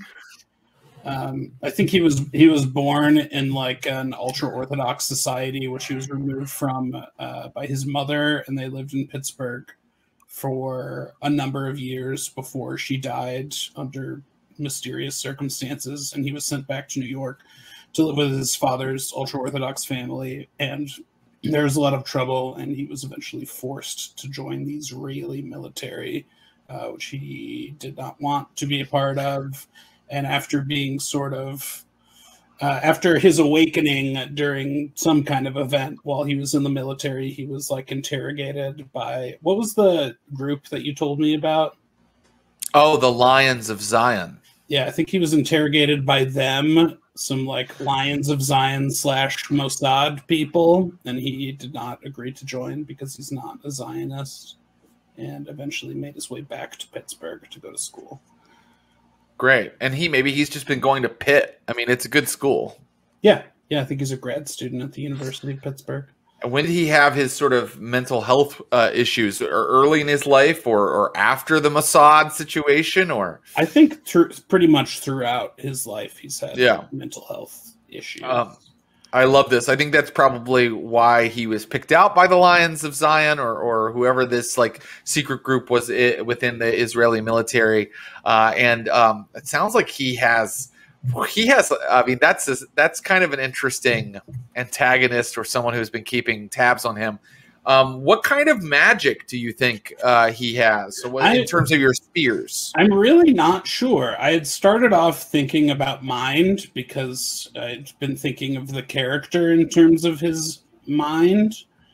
But the more I think about it, the less sure I am that that is what it is. Well, it's a good question. I mean, one thing I will say is he sounds like a perfect candidate to know how to use prime magic. And I know that that's a little bit um a little bit scary cuz it's like what is that again? But like if he's like doing all of these kind of like he really knows about magical systems and and you know the Right. gematria and all that. It kind of feels like he might be the kind of guy that does some meta magic, you know? Um totally. um, and uh, would know the most about. I mean, I know he already knows the most about the enigmas and the cosmology. He's probably the one that's the most versed in like magical theory and stuff like that. Um, other than that, I mean, uh, I love uh, the idea of maybe even uh, entropy for him because I think that gematria and Kabbalah are about that as well. Or maybe um, even time. Yep, absolutely. Pri- Um, prime time. prime time, Oh my god. Prime time, Avi. Prime Prime Avi. prime time Avi Dreyfus. Can you Um, can you give me another example of what is like what the prime sphere can achieve? yeah. So um, you could give paradox to other mages, meaning you give them like a paradox dice, which will yeah. mess with their magic. Yeah. just, just fucking bamboozle them. You can, that. find, you can find sacred sites that um, are called nodes, which are like sacred areas where magic is kind of like quintessence of magic is kind of prevalent, and that's where you can get your paradox down by like being near those places. But mages, that's what they war over. They war over these sacred sites because those are the places that um, they need to, to build their magic schools around and things like that. Sure. Um, Yeah, the oh, more- oh, one one other thing is you can't create something out of nothing unless you have Prime too. So okay. you know he uh, he looks like he's only taking really ephemeral spheres if he's taking like entropy and time and Prime. But you might decide to give him if you gave him matter or life. He could with Prime too. He could create those things out of nothing. He could create like a, a flower out of nowhere or a you know rock or whatever. Like uh, if he had you know Prime two is necessary for that. Um, I can give you more examples if you'd like. Okay, but he couldn't do that without a mix of prime and matter or prime and life. That is correct here. Um, oh, he can do aggravated damage to other uh, characters because uh, mages can heal a lot of stuff very quickly. But if you add a little bit of extra prime, like you've shredded the like actual pattern of reality in them, you do this like very hard to uh, hard to heal damage. Um, you can channel power into your spells from magic sites and magical objects. You can sense magic. Uh, later with Prime, you can turn items into magical items, uh, and uh, because you you know put magic into them using Prime. Um, basically, uh, it's a tough one to, to play, but I would allow you a lot of a lot of It- leeway with how it you're messing with sounds it. like the most applicable to sort of how I see his magic working. Yeah, I feel like with all the gematria and cryptography and stuff, he can just sort of like see the binary code of the universe a little bit. exactly. Yeah, So So totally. you're like you're speaking of Benedict Cumberbatch, you're the Doctor Strange then. Is the that what. Doctor Strange does? I don't. I don't know anything about Marvel. Oh, in or way. another Benedict Cumberbatch, uh, Alan Turing in uh, Ooh, yeah. what is it? the Imitation Yes. Game. That's a good movie. So you uh, you tell me where you're going to put those dots. Uh, a I couple of- feel. I feel like Prime and Time make the most sense to me, Mhm. but I mean, I want to choose stuff that is useful. it's all useful. It's it's manipulating reality. You know, it's really just what what's going to make you smile when you when you right, get to do it in the game. Let's go for Prime and Time. Okay, prime three, time three. Is that what we're going for? Can I do that? Yeah, absolutely. Prime three, Time three. Yeah, uh, and so um, uh, let's just talk a little bit about is he a straight up orphan since he kind of uh, denied the Lions of Zion are like they're not a full tradition. They're not like this Right. giant society. They're like a small craft of guys. Like they kind of only operate out of Israel. They have like a very pro uh, Israel stance, uh, and they do you know um, Jewish uh, cultural magic. Uh, Sure. but you you you didn't want to join them. You escaped them. And i kind of talked about like there's this group called the celestial chorus who are all religious. Like they they they combine into this giant meta religion of christians and muslims and jewish people and every other religion under the sun.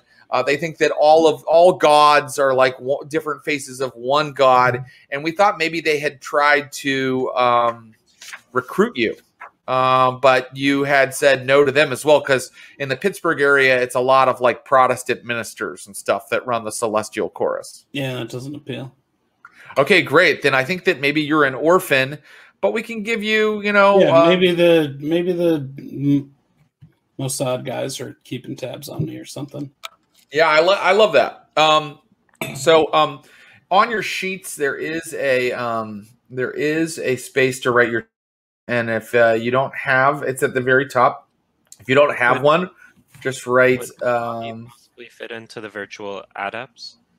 Um, possibly the virtual adepts are sort of computer hacker mages who um, want to uh, rewrite the code of reality using computers.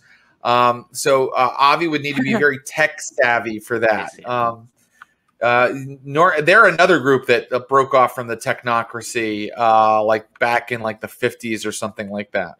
What do you think of that? I think it would make sense that that's another group that's like interested in him, but again, I don't know if it like Avi's playing the field. Who Oh, knows who Avi will join? But for now, Yeah. his uh, for now his um it's affiliation. his sect, uh, yeah, or his uh, yeah his affiliation. His affiliation is orphan, uh, and then uh, under affiliation, you guys can um can put uh, verbena for uh, our friend Charlie Mazur, and for Maria Stone, you can put the hollow ones. Um, you'll see all this nature, demeanor, essence, all this stuff at the top. Oh, guys, we could do this all day. But for nature and demeanor, while we're just kind of talking about it, um, nature is who you really are inside. Demeanor is who you uh, show to the world. Okay. And uh, there's a whole big list of them in the book. I don't think you even need to mess with them. You guys can just write something down that sort of describes how, you know, nature, who who is this person really deep down in their soul? Demeanor, what kind of a person do they show to the world?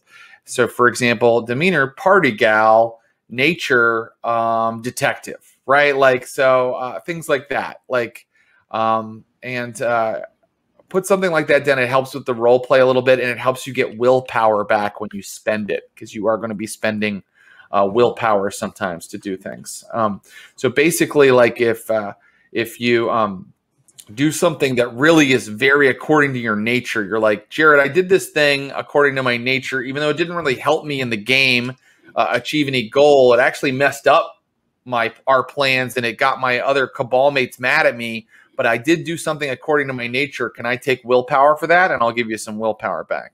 Or you could be like, uh, Jared, you know, I, I feel like I really played my demeanor of the uh, of the diplomat in that in that scene.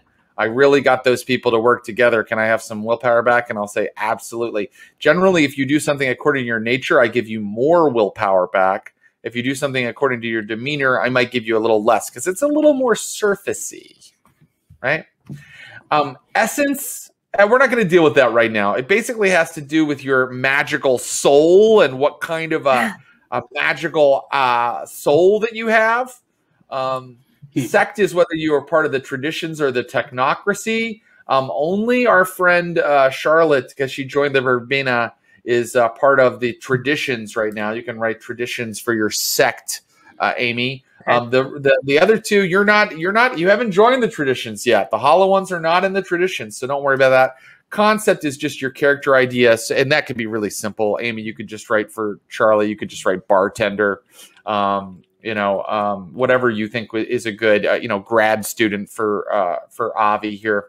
Um, so um, I kind of want to. Um, I kind of want. We've been we've been creating characters for a while, so I kind of want to get us uh, to the end here. Um, and uh, I'll just explain a couple things. Your willpower is going to be equal. You see a willpower under advantages. That's going to be equal to your uh, resolve plus composure. We're going to use the uh, vampire V5 rule for how you determine willpower. Wait, Um, where? Sorry, is that towards the bottom of the? Oh, there it is. Okay. Yes, yeah. And uh, willpower, you'll see that um, you can fill in dots, but you can see that there are also little boxes. So when you spend a willpower point to do something, you'll fill in a box under the dots that you have. Uh, and of So course, how you do can you never, fill in? How do you fill in the dots? so just uh, just click on the dots, and it's Oh, uh, sorry. I mean, um, what are the number of dots that we get? Oh yeah, resolve plus composure. Got it. Thank you. um, and uh, and then you um, when you spend them, you fill in those boxes when we're playing. Um, you're starting uh, you're starting paradox. Uh, I'm going to start you guys off uh, with a D3 each. I think that that's fair. That means Cool. that you've just been accumulating some paradox, you know, with the, your your early explorations into magic, and so First, let's do uh, our friend uh, Avi Dreyfus. He starts with, oh, I'm sorry, three paradox. Got it. Um, and our friend uh, Maria Stone, she starts with three as well. And uh, Charlie Mazur starts with, oh my God, you all, I rolled three three times. Sorry, everybody. Wow, that feels fair. Um, eh, so now we do backgrounds. You you can see the backgrounds there. Uh, and backgrounds are kind of like, uh, well, what are they? They're like social connections you have, or like things that you have that aren't like innate, like uh, allies. Um, allies are friends who are going to be with you through thick and thin and help you out. Um, contacts. Contacts are like really useful people who owe you a favor, you know? Um, uh, then there's also um, uh, like the power of your soul, which is like your avatar. So there are more supernatural ones. Rather than get into every background that's available, I would just like to fill in five dots based on stuff that you guys tell me. So, for example, we know that a couple groups are trying to um, recruit our friend Avi. So, um, uh, I think that they're probably contacts for him. Like he knows some other magical societies who really would like him to join. And so in his backgrounds, he could write down contacts on the top line. And we know that he has maybe the virtual adepts want him to join the celestial chorus. So he could put like two or three dots in there. And then anytime he wants to kind of like get in touch with uh, them, he might roll some dice. And, and, and depending on how many dots he has in context is how big a favor that they will do him. And that, that could be anything from um, helping him with a ritual that he's trying to do, or going into battle with him, or something smaller like giving him a name. Like he's like, I know that there's a wizard going around doing such and such a thing. Do you guys know who that is? So that's what his contacts would do. Does that work for you, Aaron? Does that make sense? Yeah. And then is there any other kind of thing? Like, do you think that he has what does he have that is not innate to him? Like it could be like a magical item he has. It could be like a, a, really stalwart friend that he has. It could be that he has some fame from like a paper he published, or or that he has some influence with a mortal group like grad, like mathematics grad students. Listen to what he says and do what he says. He has influence with them. Like, what do you think? Uh, what do you think he has? What what what are your ideas? Hmm. I mean, I was thinking about sort of that's just more context though, but people sort of in the world of academia that he can draw upon. I love that. And so, why don't we say uh, influence uh, and give him a couple dots in uh, uh, academia? Like he has some uh, he, splash in academia, um, and so he can talk to professors, he can talk to other students, and he can uh, he has pull over what they do and what they say. Um, and uh, so, uh, with his contacts and his uh, and his uh, influence. Um, you get five dots in these backgrounds altogether. Does he want anything else? Is there anything else you think that he has that we should uh, we should put in there? I think he probably also has some influence with um, the world of ultra Orthodox Jews. Oh, interesting. I really kind of love that. He So, speaks, um, he speaks Yiddish fluently. He Great. grew up for part of his life in that environment, even though he's not there anymore. So he could probably reach out to those people. Great. And I'm going to suggest one other thing for him. I think that he should take influence twice then. Um, Maybe put a dot in each, put two dots in contacts, and then um, make sure you mark how the influences are different. So we remember it's like the Jewish community and the academic community. Mhm. And then he should take uh, library, I think. Um, library is one of the backgrounds you can have where you you know i think that he's the one that keeps like kind of occult tomes and weird treatises on magic and things for everybody to use um, and uh, maybe just one dot in that is good too so is that altogether that would Yeah, be that would be five so you've Mhm. done it um, and uh, sara rose and uh, and amy you guys can kind of you don't have to go with this like list. Just tell me what you think your character would have and we'll figure out how it translates. Uh, amy what do you think about charlie? Like what does she have in terms of um, backgrounds uh, uh, advantages? Um, and this doesn't have to be necessarily. I'm, I'm, I'm just going to keep saying verbena. Is that okay? We can just pronounce it. verbena is how we pronounce it um, let me try to get let me get it verbena verbena verbena. I I think I think it's just a really funny word. It actually is a bit. It sounds real. It kind of sounds dumb, you know, because you just rub verbena on your skin. yeah Um, and it's verbena, and it's like real. Nah, uh, anyway, I feel like a bit of a Karen saying it, so I how, love it. How I love it. How how how much have they hidden themselves in mysteries though? that, that people think it's just this simple skin Yes. cream. yes. Um, so, but it doesn't have to. What I'm doing doesn't have to have any ties to verbena as far as background No, in fact, with, because you have the, the Romina, it doesn't have to. But Okay. because you have them, like you could take things like uh, you have uh, like um, you know influence among the verbena. I don't know that your character would, but she could. Uh, uh, or you could kind of justify some things that a bartender wouldn't normally have.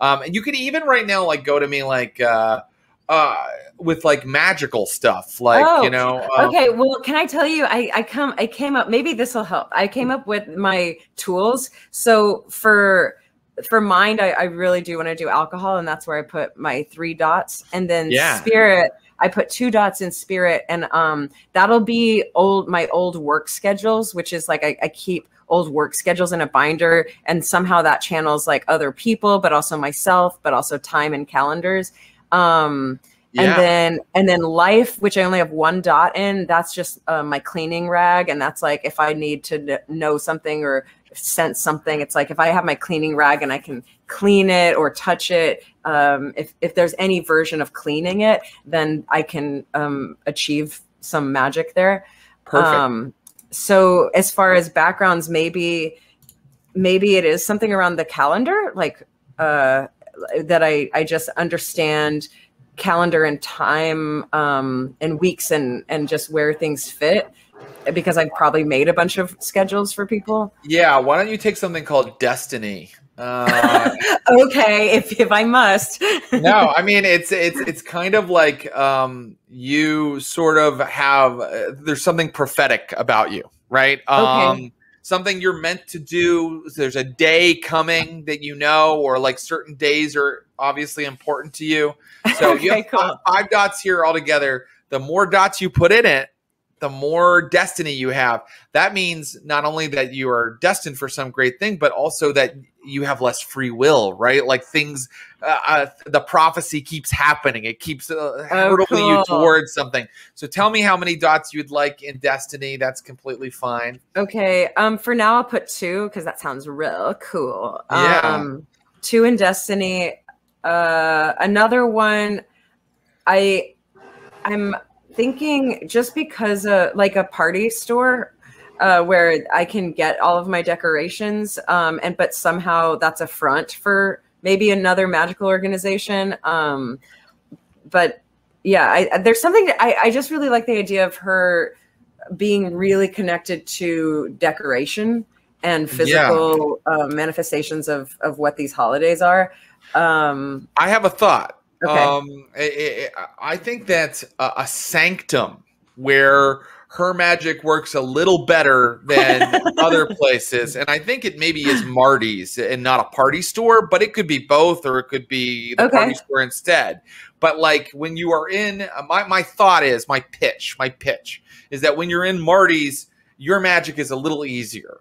Yeah. Yeah. Okay, I love that because um yeah, that'll yeah, like a sanctum. So do I put Marty's sanctum? Yeah. Okay, Marty's sanctum. And uh for now, yeah, I don't want I don't want to have too many backgrounds. I, I don't Yeah. Why not two Destiny, three Sanctum, and you're good to go? two Destiny, three Sanctum. Okay, cool. Well, I mean, does that does that railroad the story too much? Like, does that? I mean, because I'm I might be constantly going, guys, let's just go to Marty's. It'll all be fine if we get to Marty's. Um, so for gameplay, I don't I don't necessarily want to just be railroading. That doesn't railroad. That doesn't, doesn't. railroad. I mean, like the fact that you brought that up means you understand that sometimes she will have to leave Marty's, and sometimes she doesn't like that. She's like, "We can just get back there. I can do my stuff." Um, okay, okay, cool. Uh, and it's also funny that she has this great destiny, but she kind of want to ha- wants to hang out in this bar. You know, like um, I think that yeah. Okay. Okay. Great. Uh, I yeah. think that's then- really really interesting. Okay. Um, and by the way, uh, I base the story on what you guys are giving me. I don't Okay. have some elaborate plot ready. I'm gonna I'm listening to what's coming at me. Um, So when, it's not like we're gonna just go to San Diego and then I'll be super far from Marty's and no, this is Magi of Pittsburgh. This We're staying in Pittsburgh. Uh, Okay. We probably will leave Marty's at some point, but uh, but I'm not promising. Maybe it'll all No, happen in Marty's. uh, one night in Marty's, a, a story for Magi of Pittsburgh. Um, okay, that's really great. And so Okay. uh, your backgrounds are taken care of, and now we will go to uh, Sara Rose Caplan, Maria Stone. What do you see her having? What, it- what, what, what in terms of her advantages, her kind of connections? She definitely has allies, allies, which Mhm. is the Queer Liberation Front. Um, her group of Perfect. Street medics. Uh, they've probably all dated each other at some point. Uh, Great. So So, they're loyal. that definitely So there's a there's an emotional connection there. So if you call them to help, they show up. they show up. They Yeah. show up. They've been through shit together, uh, and they're committed. Then I think she has contacts. Uh, she has a few different contacts. She has like the broader anti-fascist street organizers of Pittsburgh, and also probably the broader queer underground. Um, Great. Um, and she might i and this might not be contacts i she does know all the masonic secrets so i'm guessing she can uh, she has the masons um, if they know she's been sort of excommunicated then they're not super helpful but uh, she does life magic if she you know changes her form she could probably get something out of a mason or two Okay. Um. So it sounds like we definitely have the uh, the allies. That's great. Dots to spend right now, but um, how many dots do you think are going into allies? I think, well, one, I think she's just got that core crew that she rolls Right. with. Yeah. So is that like one dot, two dots? So you'll Oh. be rolling these as dice sometimes to see, you know, and then the more dots is the more they're likely to show up, the more talented Okay. they are. I would say medics who, as you say, are pretty loyal. That's at least a two in uh, in allies. Okay. I'd say. Well, in that case, I will call the allies a three. Like, that is, they're her family. That the medics or her family. And then I'll ditch the Freemasonry. I'll, I'll put it to contacts just as part of like the organizers of Pittsburgh and sort of the queer underground of Pittsburgh. Well, let's do this. I'm gonna. I'm, I'm actually going to do one final thing because in, in in this game you're also supposed to spend all these freebie points once you've finished, and we've now finished. You guys have fantastic characters. I know their stories really well. They have great backgrounds. You're out. They, they also give you all these freebie points, and you're supposed to spend all of those. And this is creating characters in role playing games always takes three hours. Instead of that, instead of spending all these freebie points, I'm going to say you guys have some extra stuff floating around out there during the game. If you suddenly are like, wait, Jared, can I have this? I'll be like, yeah, you can have that. Oh, You've already taken a lot of stuff. But right now, let's go ahead and pick one more thing we want. You were looking at your sheet and you were like, ah, I really wanted more of this and I couldn't have it, or um, man, I'd love to throw a little entropy magic on the pile there, or uh, I think that uh, I, I want a magic item and I just didn't have the points for it, or anything that you, you that. What's the one last thing that you want? And I'm going to go ahead and start with Avi Dreyfus. What's the one last thing you'd like to give Avi, and we'll give it to him. Oh man. Oh, uh, one thing that's sort of important. Um, you'll see on your sheet there's a thing called Arete, R A R E T E, and we are using that. It's going to work for for our viewers in the know. It's going to work a little bit now, like blood potency works in Vampire Fifth Edition. But basically, based on your Arete is how skilled you are as a wizard in general, uh, and you can see can go pretty high. But basically, you when you spend willpower to help your magic, um, you'll get like a bunch of extra dice based on your arete. So if anybody wanted to bring that up right now, now would be the time to do it. I think that like right now when you spend willpower on magic, let me look up my magic rolls here. You're going to get like some bonus dice if you spend one willpower on a magic roll.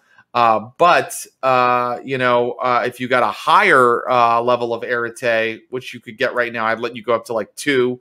You get more dice just by spending a, a single point of willpower. Um, so that's just one idea for the final extra thing that you could take. You do not have to take that. That's just one idea. I think that's exactly what I want to do. Oh, really? Okay, yeah, excellent. I like the idea of having sort of more potent magical wellspring. Well, it does explain why all these people want to recruit Avi. Like he he is sort of a uh, auspicious new uh, player in the game. If he is like kind of like a novice, but he ha- already has two arete, um, he has a very intuitive grasp of the art of magic. Um, and so uh, that is the one last thing that Avi will take. Amy Vorpahl, what is the one last thing we're going to give to uh, we're going to give to Charlotte?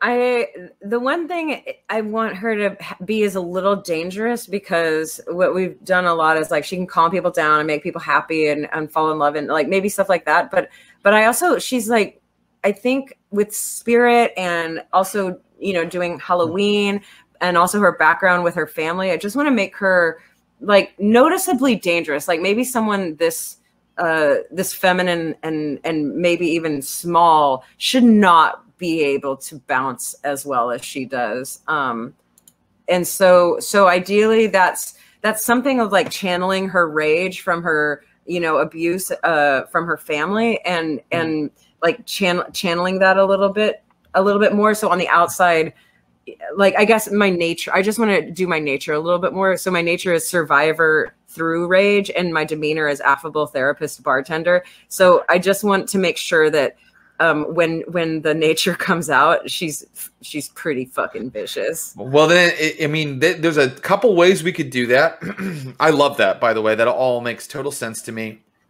Um, why don't I mean she could take more brawl, or she could have skill in those ways. Intimidation. I'd let her have a couple dots right now as her one last thing, or maybe you see her using her magic to kind of get an advantage, and you'd put like one more dot into um, life would maybe help her to like be stronger or break people's limbs or something like that or Ugh. survive things.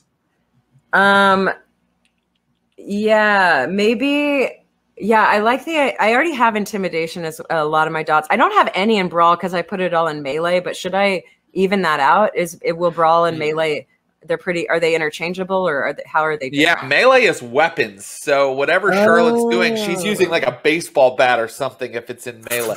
Okay. Which i love. Okay uh, uh, i have nothing in brawl though but i guess that makes sense because she is i don't know that she would just auto auto punch someone. She'd break off a, a leg of a chair first i think um yeah she can still roll to punch somebody. She would like just be rolling strength for example. Yeah. Um, so yeah, it's really up to you. I mean, you could make your last thing brawl, and we could talk about how many dots it is, or you could uh, grab that last life dot, or you could uh, do another thing. I no, can I, yeah, I want to do something. I want to do like maybe in the background or have a magic item that like um changes that changes her face, like her form, just a, a little bit when she's um, fighting, so that like it looks more. It looks more. It looks more like out of a horror film, like you know when when the teddy bear is cute, and then all of a sudden it like turns into a monster with a huge mouth, a maw type thing. I want her to be like that when she's fighting. Like, whoa, that it, you know, like she changes to the point where people are like, that is not what I signed up for when I got in a fight with this. I love it. That's so fucking cool. What Yeah. is the uh what is the what do you think that item is? What do you think it is? Um, Uh, okay, so uh, based on holidays and just like cool trinkets, I want it to be like a childhood music box, and she and maybe that was like it's it's it was ripped away from like all of at some point when she was three or four, like her father, that's when he turned and like alcoholism set in and um and but but she can remember like a good time with this music box.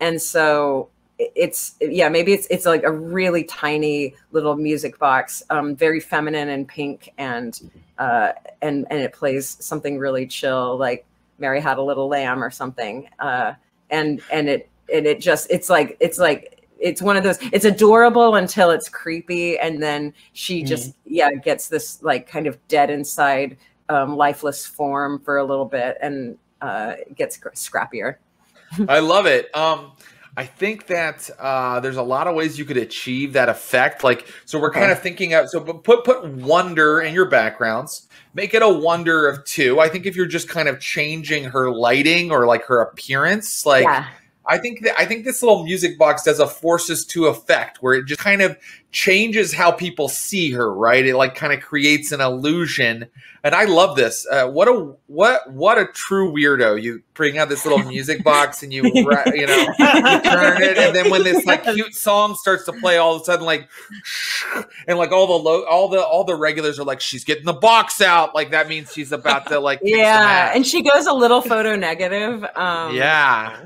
Not not not to the point yeah i don't want it to be too noticeable but also yeah it should freak out whoever she's targeting And yeah. it plays holiday themed songs, of course. you yes know, yes uh, for sure uh, so, uh, and, uh, on val yeah actually for valentine's day it can play like this kiss this kiss it's like some stupid 90s no, song. I love that it's like a toy from the '90s. Like, that Yes. um, could you please, Clinton Tricks, add to just just our notes that that has a forces two effect of kind of altering the lighting and uh, Charlotte's appearance. So that's great. That's the one last thing for our friend, uh, for our friend Charlotte, and then thank you uh, yes, of Um, course. and then what's our one last thing for uh, for um, Maria? I'm considering a few options, hmm but I think. Okay, I'm torn between. I, I want to lean into her black blockness. I mean, it's coming off of the last year of massive street protests. She either has just a sort of magical black bandana, which is an incredibly effective at hiding her identity, or mm-hmm. some sort of magical gas mask, which is effective against not just tear gas, but maybe sort of any sort of any sort of mm-hmm. environmental poison or magic, but I'm not sure.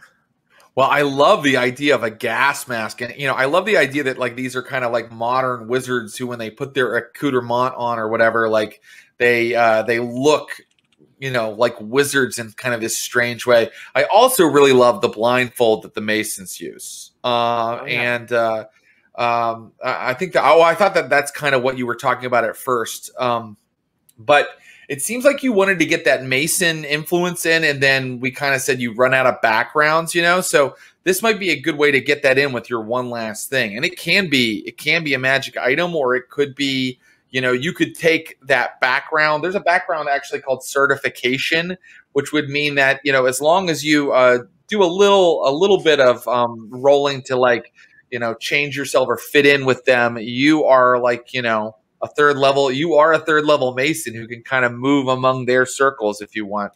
Um, it's up to you. It can be any of those things. What do you think feels fun to you? Uh, you know, I think it feels fun to have her be a, a badass in a gas mask. I think I think it does too. That's great. Um, the gas mask is gonna. We should give it something really cool though. So um, I gave I, I you know we said that uh, our friend uh, Charlotte could have a, a level two effect with her uh, little music box. So uh, is there any sphere that you couldn't take that you think would be cool to have? Uh, uh, w- that the gas mask could do s- some kind of effect with. Um, Yeah, so here's an idea. Mhm. I'm wondering if it could have an entropy too, and it, it's a gas mask. You know, it filters tear gas, obviously. I think Mhm. also it may be rubber bullets, bean bags, any any projectiles, just hint to miss.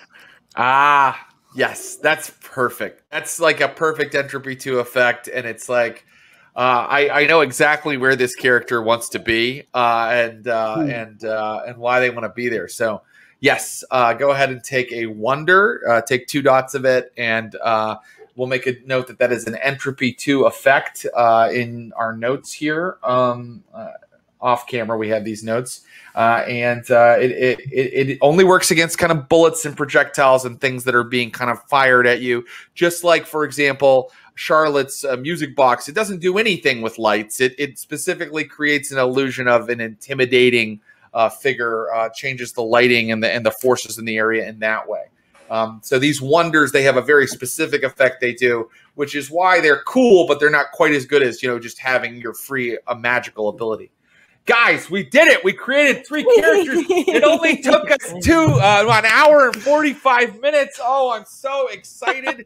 we are going to take a short break. When we come back, we are going to just kind of uh, uh, build the world of these characters just a little bit, and that will be today's session.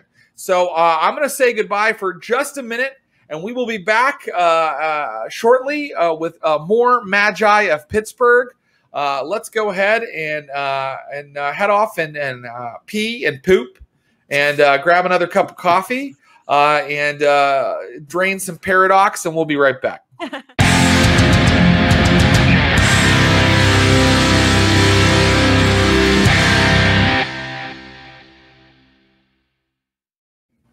Abracadabra, we're back. Hi. Uh, we have finished our characters. Um, I, I'm so excited about these characters. Uh, these players have created characters with depth and all these cool ideas. Uh, and so now I'm going to teach you guys how to do magic. So uh, now we're going to kind of enter into the fictional world of our game. Yes, imagine if you can the uh, magical land of Pittsburgh, Pennsylvania in the in the year 2021 uh, uh, uh, uh, used to be a place of steel mills. There, there's kind of a little bit of that left but a lot of those have shut down. There are many kind of dive bars uh, on the south slope like marty's uh, where where our friend charlotte works um, there's a new tech sector over around Squirrel Hill. Um, it's kind of trying to, uh, the city's kind of trying to build itself as like a new place for young people to come. Portland's over. Now you got to come to Pittsburgh. Uh, Portland's too full. San Francisco's too full. Come see Pittsburgh. Um, it's a beautiful mid-sized city, you know, that has kind of some of the cultural stuff you want, but also sort of that old American culture that's still hanging on. And it's deep in the Rust Belt. So there are plenty of abandoned buildings, uh, old factories that have been shut down, uh, crumbling edifices of a of a industrial uh, Tomorrowland that never really came to be. The technocracy, you know, the, the villains of the Mage game. Uh, Pittsburgh was part of their plan, probably for this bright, shiny, mechanical future where uh, the steel was the most important uh, resource that America has, and it would be used to build skyscrapers and robots and flying cars. But it all went to rust out in the Pittsburgh snow and rain. And, and so that's the setting that we've built. Uh, and now um, uh, I'm going to teach you magic by by way of a little prelude before your characters meet on this particular night in Pittsburgh, Pennsylvania. And you are all known to each other. I'll just mention again, you are part of a group, a cabal of friends. Um, we can figure out how you've become pals later, but uh, suffice to say that's already happened. Um, right now, I'm going to just uh, have each of you practice magic to, today before you came to meet undoubtedly at Marty's, Charlotte's Bar.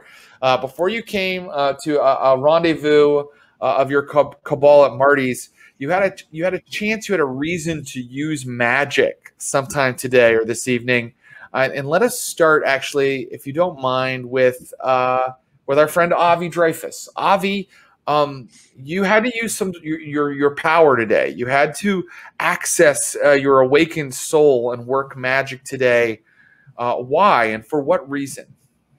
Um, earlier in the day, Avi was having a, he was having sort of a little bit of a rough mental health day, and um, found himself sort of out in the street uh, with a uh, uh, an SUV sort of bearing down on him, about to hit him, and he needed wow. to stop the car with his time magic. And Oh, get out of the amazing! way. Wow, that is a very rough mental health day. Yeah, Uh, when you, almost got hit by a car. so uh, Avi, last last thing he remembers, he was kind of like working equations on his chalkboard or on his computer, and then uh, you know maybe he forgot to take his medication, or uh, which often happens, you know, when people are, are are struggling and challenged by mental health, or maybe I don't know what happened, but at some point Avi found himself kind of sitting in the middle of an alleyway, um, and uh, Yeah, Yes. He's he's like trying to explain.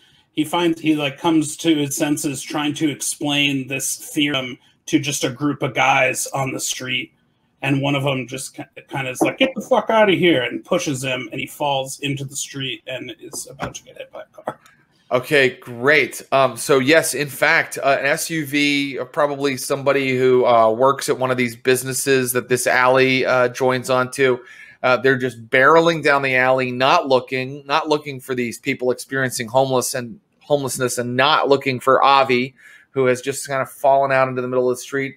And so uh, Avi must quickly use his power to prevent uh, taking an enormous amount of uh, crippling damage. Yeah, Uh, I didn't from- really think about that before. I- Wow, but here we fine. go. Here It's we all real now. You created this situation and now you must survive it.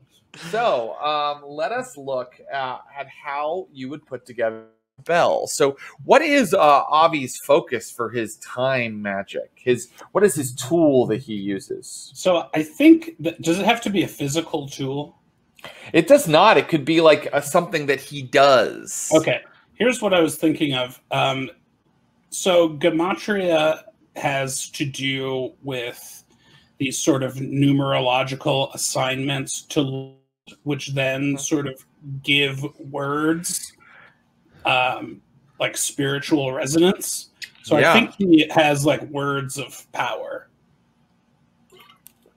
I love that. He doesn't necessarily even have to say them; he can just think them. Ooh. Oh, um, I'm going to actually. This is where the storyteller's going to go.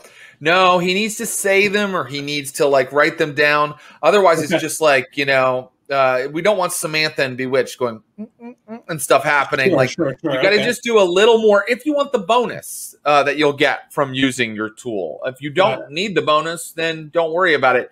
But I think in this case, um, he's going to slow down time or stop time so that he has time to get out of the way of this SUV before its tires crush him. So um, here's what we ask. Um, what are we going to roll? You're going to roll an attribute plus your sphere rating. So you have a time. What? How many time dots do you have?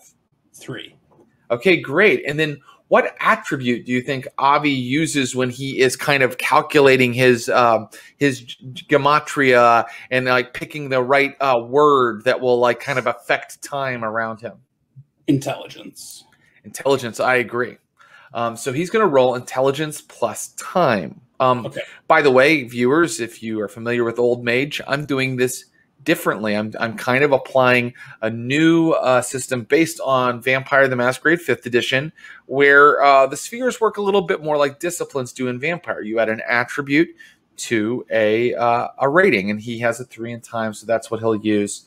Um, and uh, now we're going to figure out the difficulty. The difficult. So so I'm sorry. So if you're rolling your attribute, your intelligence plus time, you're going to take as many dots as you have, and you're going to pick up that many ten sided dice. Oh, so how many?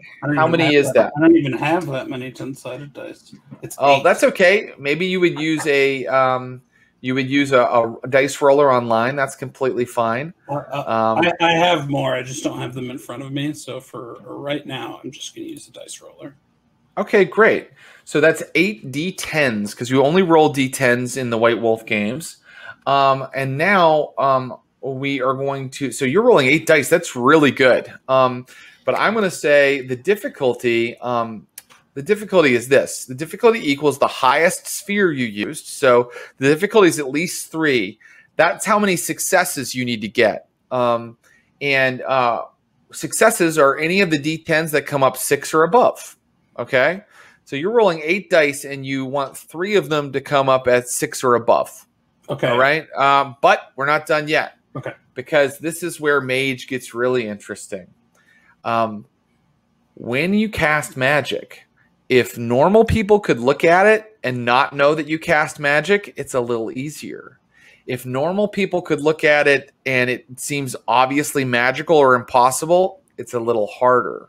Um, and if there are actually normal humans who don't do magic, like watching you, it gets even harder. Sure. So, so if you and you're slowing down time right. in front of a group of uh, men on the street who you were explaining your theories to, Yep. um, and I think slowing down time looks obviously magical, right? Um, so uh, I think that that's going to be. Uh, we call that you call it coincidental magic if it looks like a coincidence or it looks like it could be explained away some other way. But this is what's called vulgar magic. Um, so your difficulty goes up by one for vulgar magic uh, because uh, slowing down time uh, is obviously uh, magical. But you have what are called sleeper witnesses. You guys are awakened, uh, but these homeless uh, men who are watching you, they are sleepers. They're not mages. So uh, you actually your difficulty is the highest sphere you use plus two. So a spell using time three is going to have a difficulty of five. That's how many of your eight dice must come up at uh, at a six or above. It gets worse, everybody. Um, uh, this, Ah, Just let him slow down the car. no, no, no, because you're going to see the advantages that you can bring to bear to, to make it a little bit easier. But the only the, the final thing that I'm going to say is, and, and, and by the way, uh, our friend uh, Aaron just picked a really interesting but very difficult situation to cast magic in. Fast casting, Ca- casting something in one combat round increases the difficulty again by one. Um, so right now you need six uh, of the dice to come up six or above in order to uh, in order to do this. That seems really hard and maybe impossible, but I think the SUV is going to hit you in one combat round. So your difficulty is currently six. Uh, then the next part of my note says, "How do I get the difficulty down?" Foci, tools that help with your magic. You may use a single dedicated tool in each casting. This tool uh, is a, a- your unique thing that uh, helps you get the difficulty down. Uh, and uh, your your to, okay, you know what? I actually wrote that the foci are physical objects, so he he at least needs to have something that helps him do the gematria, the gematria. f- f- pardon me. So does he have like a little book about it, or or maybe um, So, um, there are in Gematria, there's this like, how do I explain this? There's a diagram which is expressed on the hands of the different numerical values of different letters. I think he has those tattooed on his hands. great? Uh, done. Um, so he's looking. At, Awesome. he's got to be able to look at his hands uh, to be able to kind of do this stuff. And so uh, the the SUV's bearing down on him, and uh, he puts his hands up, uh, and uh, that um, that does some things for him. It takes the difficulty down by one. You're using your diffi- your dedicated tool. Um, uh, are you casting near uh, uh, uh, a node? No. Are you casting in a in a sanctum? No, you are not. Are you casting on uh, mage uh, helpers who are called sleepwalkers? They're not technically mages, but they believe in your gematria. No, you're not. Are you spending extra time? No, you're not. And you're not using a sympathetic token connected to the target. All of those things can take the difficulty down.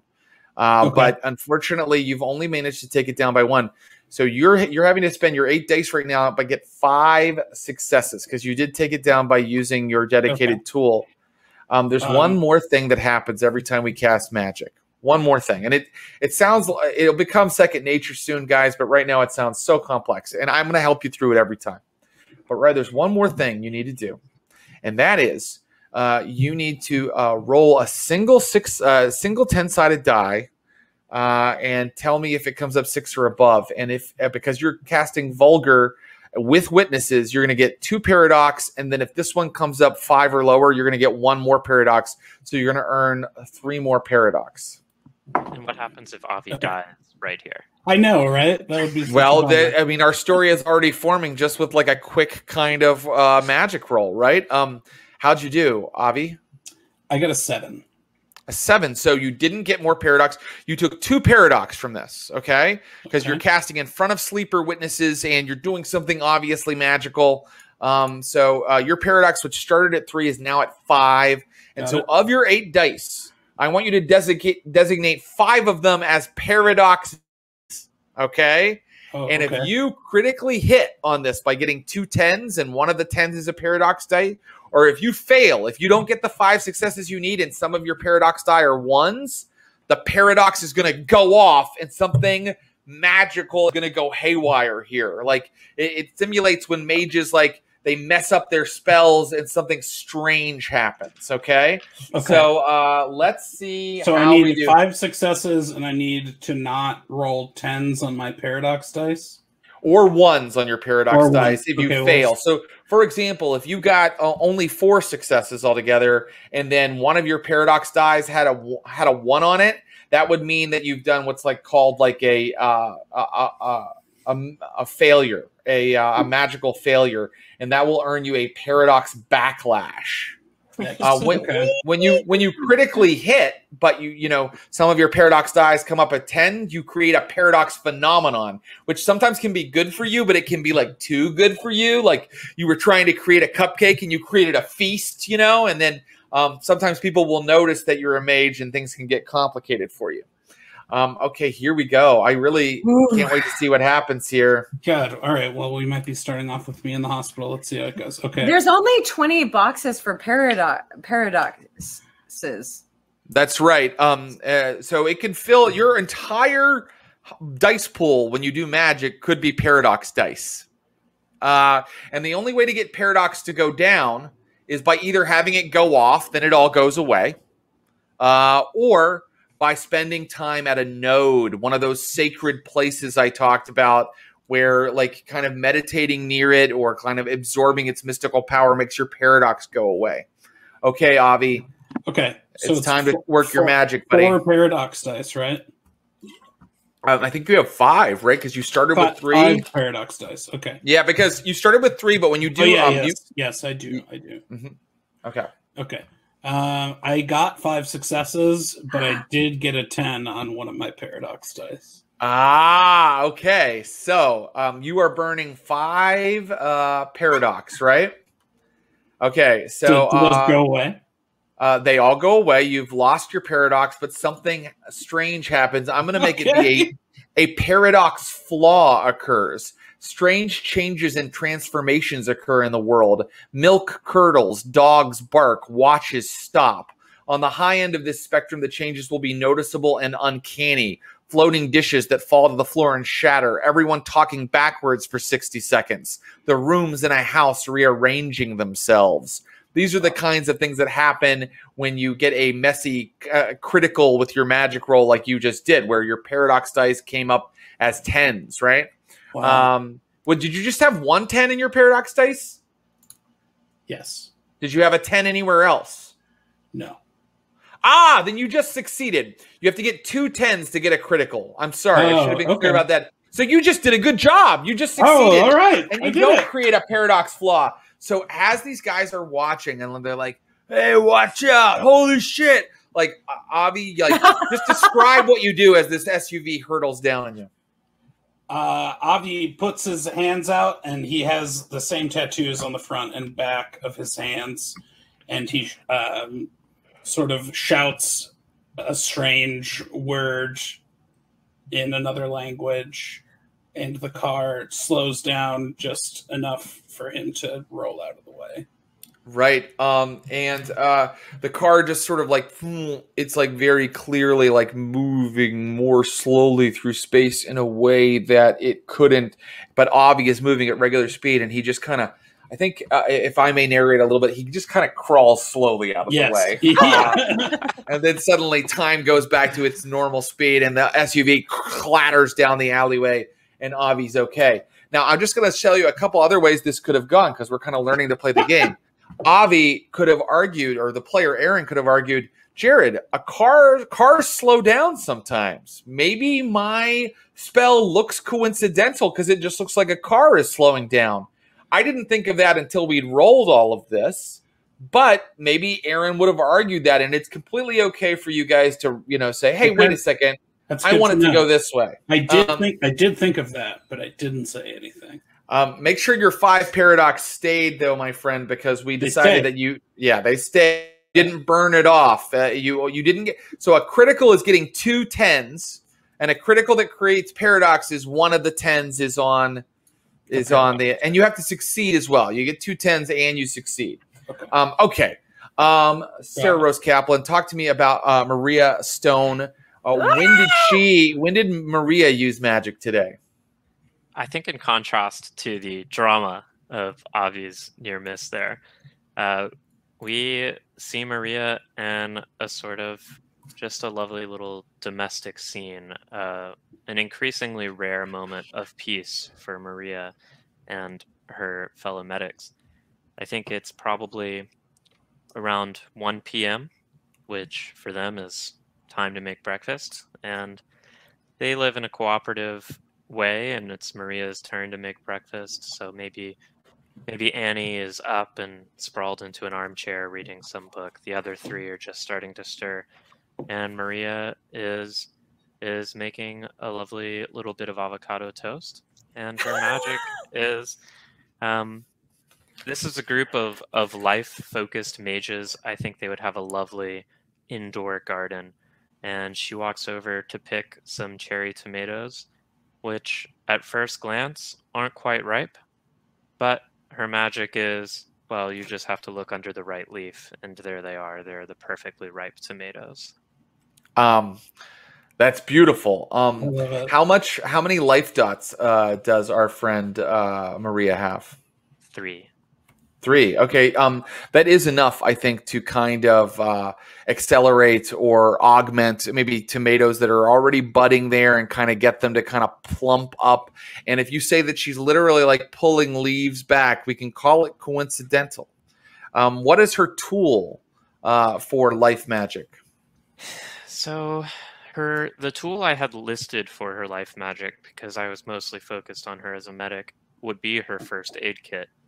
Um, so in this case, But I you could use something different here or forego the tool. This might be an easier roll than our friend Avi was making, so maybe she doesn't need her I don't think tool in this particular case. Okay, no problem. So the the difficulty won't go down. Um, I think that uh, let me just look at uh, life magic and see if if if you're using life three to do this, or if you're maybe using a little less. Maybe you're using life two to do this. Let me just look at the rules here for a second, because if you're using life two, that that will affect the difficulty a little bit. Um, oh wow! Oh, thank you, Clinton Trucks. Although I choose to ignore all of this anytime I want. Um, uh, at, at Sphere Rank Two, the mage begins to make small alterations. Uh, yes, uh, although not yet able to perform dramatic effects, gains a small degree of control over the sphere's principles. Oh well, that's as vague as I need it to be. Uh, I am going to say that. I am going to say that this is uh, this is going to be. I actually I like the wikis more because I think the nerds that put together wikis have thought this through way more than the people that wrote the book. I mean, come on. Uh, let's see what I can get uh, when I look at Mage the Ascension and I look at the Life Two level here.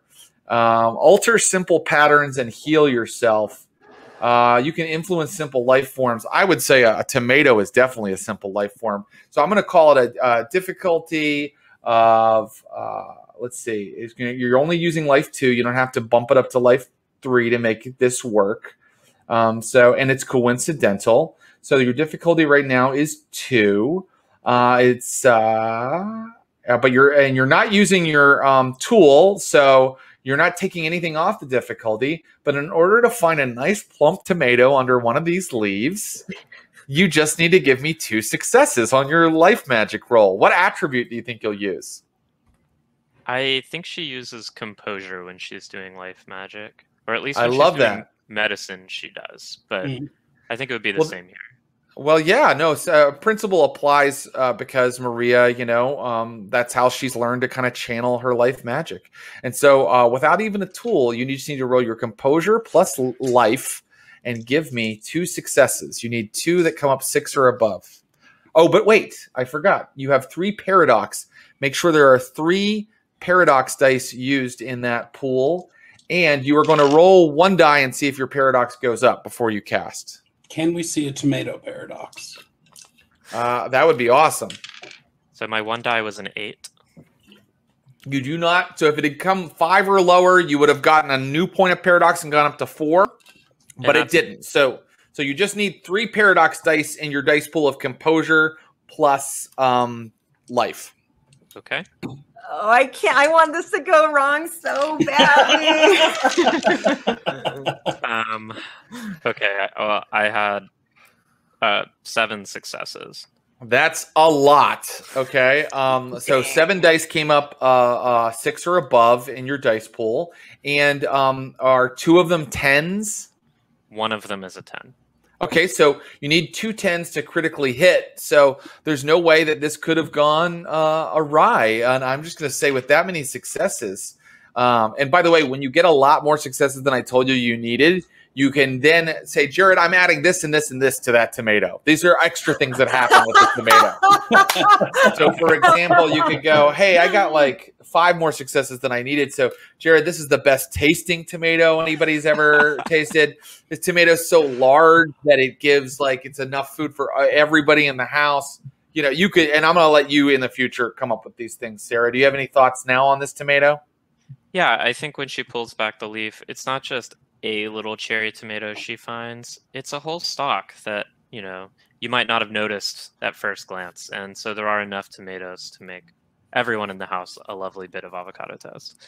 Beautiful. Um, and that is uh, the opposite of Avi's magical roll for sure. Um, and uh, I'll say uh, you have you have taken care of your allies so well because that's your allies group uh, are your fellow uh, queer medics uh, and Annie, who I've I've made a note of that they will be extra responsive if you need to use them later in the adventure because you've cared for them so well, so they know that they've got to take care of you. Um, and now, finally, uh, we're getting closer to the meeting at Marty's uh, that all these ma- magi are going to attend. But right now, I want to know how did Charlie uh, Mazur, uh, Amy's character, how did you use magic on, on this day?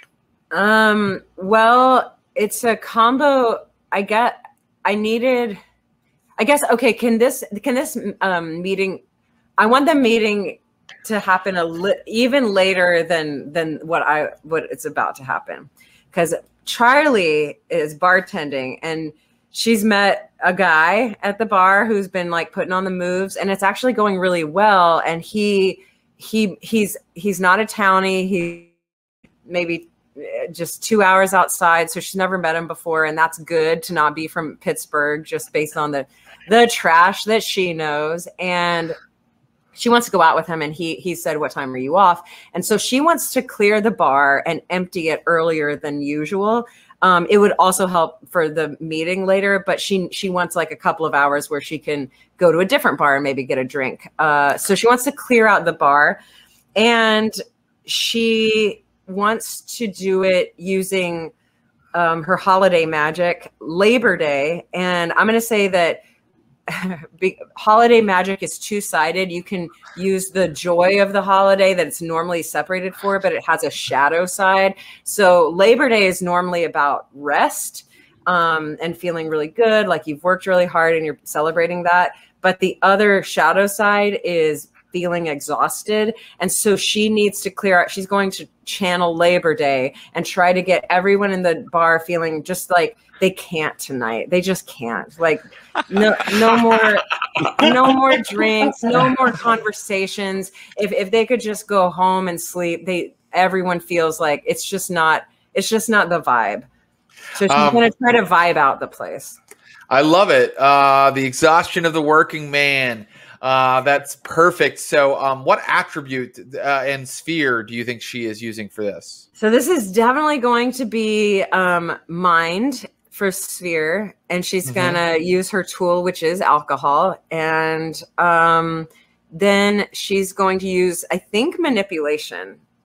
That's. That sounds right. That sounds good. Um, so you're going to add manipulation plus uh, your mind sphere. How many dots do you have in those things? Manipulation is three, and mind is also three. Okay, great. So you're rolling with six dice uh, to begin with, and you are clearly have access to your tool that you use for your mind magic. So that'll take the difficulty down in a minute. Also, this is coincidental. I think that uh, all of these people. I mean, I've often Oh, I been want to make at a- it harder. I want to say it's Friday night. So this this probably this probably should be a party night. So I don't want it to be coincidental. I was already going to make it harder for you. I think Oh. that no matter, uh, but I'll make it harder in that way and this way. Um, Okay. So these people are really kind of raging when you start this. uh, Okay. uh, and I will also say that the fact that you want to affect a bunch of people at once makes it quite difficult as well. Um, so um, the sphere that you're using though is just mind two. You're just kind of trying to create an emotion, kind of sway the emotions of these people. Um, uh, so the difficulty starts at two. Um, I am going to think. I think it's coincidental whether you want it to be or not, because you're not like suddenly making everybody go like, "Oh, fall to the ground," like I can't move. You're like uh, making them Yeah. kind of go, "I think I'm kind of tired of being here," uh, and slowly kind of uh, shuffle out. So That's it is true. coincidental, which is good. Um, but I'm going to add difficulty. I'm going to add difficulty for the fact that they're raging. They are nowhere near the mood that you want them to be in. And then I'm going to add two difficulty because of how many people there are. oh yeah. Uh, you're kind of trying to do a wave, but you are giving, you are serving all of the drinks, right? So you I do are able to yeah. yeah, you are touching each of them in kind of a significant way by preparing their food. So I think that our difficulty is two, uh, plus the one difficulty for uh, how how hyped up they are, plus the two difficulty for the number of people. So you need five successes here, uh, but we're going to take down one difficulty because you um you you've got your tool with you. So you're at a four difficulty. So you need to roll your six dice and get four successes. But before you do that, remember that out of your six dice, three of those dice should be paradox dice, uh, because your character already has three paradox. Um, and um, you need to roll one die and see if you gain more paradox. Because even when you do a coincidental magic, magic always has risk. So if that die comes up five or lower, you're going to be at four paradox. Okay. I got an eight. Okay, so you don't get more. You don't earn more, more paradox for this for this spell. Um, you have um, you have uh, just three uh, paradox dice, three regular dice, and you're rolling your entire dice pool of six, and you need four successes. Okay, and when just for some flavor, when I when I use my tool, um, it's it's uh, swiping up in one line the condensation on the glass. So some people have noticed at the bar who are regulars that every once in a while they'll get a Charlie a Charlie finger, you know, just swiping up the condensation. Um, I've I've tried to explain it away, but it's happened too many times where it hasn't happened. It has happened. Like maybe some of the regulars are like something's going on when I get this like finger finger swipe on my glass. Okay, yeah, um, I like it. Um, I'm gonna make a note of it. Okay. Okay, so I have three paradox dice, three normal dice, and I need four successes. Oh, I hope it fails. Here we go. This will be. I just. I don't. I don't hope it fails, but part of me is interested um, in seeing something fail. I, I don't think it would go too bad, but it's also. Oh wait, it's also Marty's. This is Sanctum situation. Oh yes, the Marty. So if you're in a sanctum, Oh, that yeah. makes that makes something good happen for you. Thank you so much for reminding me of that. Um, Great. So that is a way to get the difficulty down. Um, negative one difficulty. You only need three successes in Marty's. Okay. Nice. Cool. All right. So same dice pool, and and then we pull from there. That's right. Okay, the red ones are paradox dice. Okay, so I have, oh my gosh, oh my gosh. Okay, I have in the blues, in my blue dice, I have a 10, an 8, and a 9. Okay. Really good. And then in the reds, I have a 6, a 4, and a 6. So I have five successes. Yeah. Man, I really wanted it to fail, but also this is mm. going to be great. Yes. So, I mean, it will happen. Don't worry. I mean, I've played the the vampire mechanic long enough to know that eventually something goes haywire, and the paradox is always going to be going up. But you don't want it to happen every time, or you you never achieve anything as a character. Okay. Uh, but tonight you got two more successes than you needed, uh, and that means that you can tell me. Uh, give me get, add two details, but they are all you. Know you see people kind of like first everybody gets a little quieter like it's less of like a dancing and shouting situation. Soon they're all just kind of watching sports on the tv and one by one people start heading out the door. Um i don't think it is labor day right? I think that like you uh, you channeled labor day. Maybe you moved the calendar or you looked at the old work schedule and then you started serving the beers right? Something like that. Yeah, exactly. okay. No problem. Um, I understand it, and uh, yeah, I mean, there's only a few people left. They're all shuffling out, and the guy is like, uh, "So can we get out of here?" Yeah, and so the the bonus fun part is not only have people like are are they trickling out. Um, Marty has seen this interaction and he's known that like I've had some trouble with men in relationships, and he's on my side. And and simultaneously the like the two maybe there are two other dudes there who are um like one of them at one of them is kind of hanging on to leave because he's also interested in me which gives this like other guy a little bit of competition which is a plus um, for the situation because I, i'm able to turn down the other guy and, and talk to this guy which makes him feel really good. Um, and then and then also the the other guy uh, is he just knows me and is is like he and Marty are kind of talking me up. Like they're they're like, oh, that's a you know, just kind of words like, oh, good, she's a good catch, and like you take care of her, you know, just like being, uh, just generally like, just pro me, I guess, and it's it's helping. That happens, and not only that, but I told you we would throw in some other dots here and there to represent those freebie points we kind of skipped over a little bit. Yeah. I didn't know Marty was still in your life. Uh, actually, yeah. take write down allies in your backgrounds and one dot because Marty's very old, uh, but he can. He's so useful. He can um, wait bar not quite as good as he used to, and he can talk you up. And also, he can kind of he has some pull with the regulars. Um, yeah. so- okay. So so your name your name is um like uh Jerry and and so uh yeah I'm like yeah Jerry I I you know I don't really I don't really date patrons. Uh this would be a date, right? Uh, I mean, I thought. Well, let's see if Jerry needs to roll his insight to see. Uh, to, he needs to roll his like ability to understand people. Um, is he clueless? You said he's. You said he seems pretty smart, right? Yeah, yeah. Okay. Okay. Then I'm going to give him a decent dice pool for this. Oh. Uh, and let's see if he can get enough successes to know that you know that you want it to be a date. Okay. Um, and he rolled one, two successes. I think that's enough. And he goes, "Yeah, uh, yeah, it would be." All right. Well, I guess uh maybe yeah, maybe uh I'd have to I'd have to see what the boss says, you know? Marty, Go! What are you kidding? Get out of here!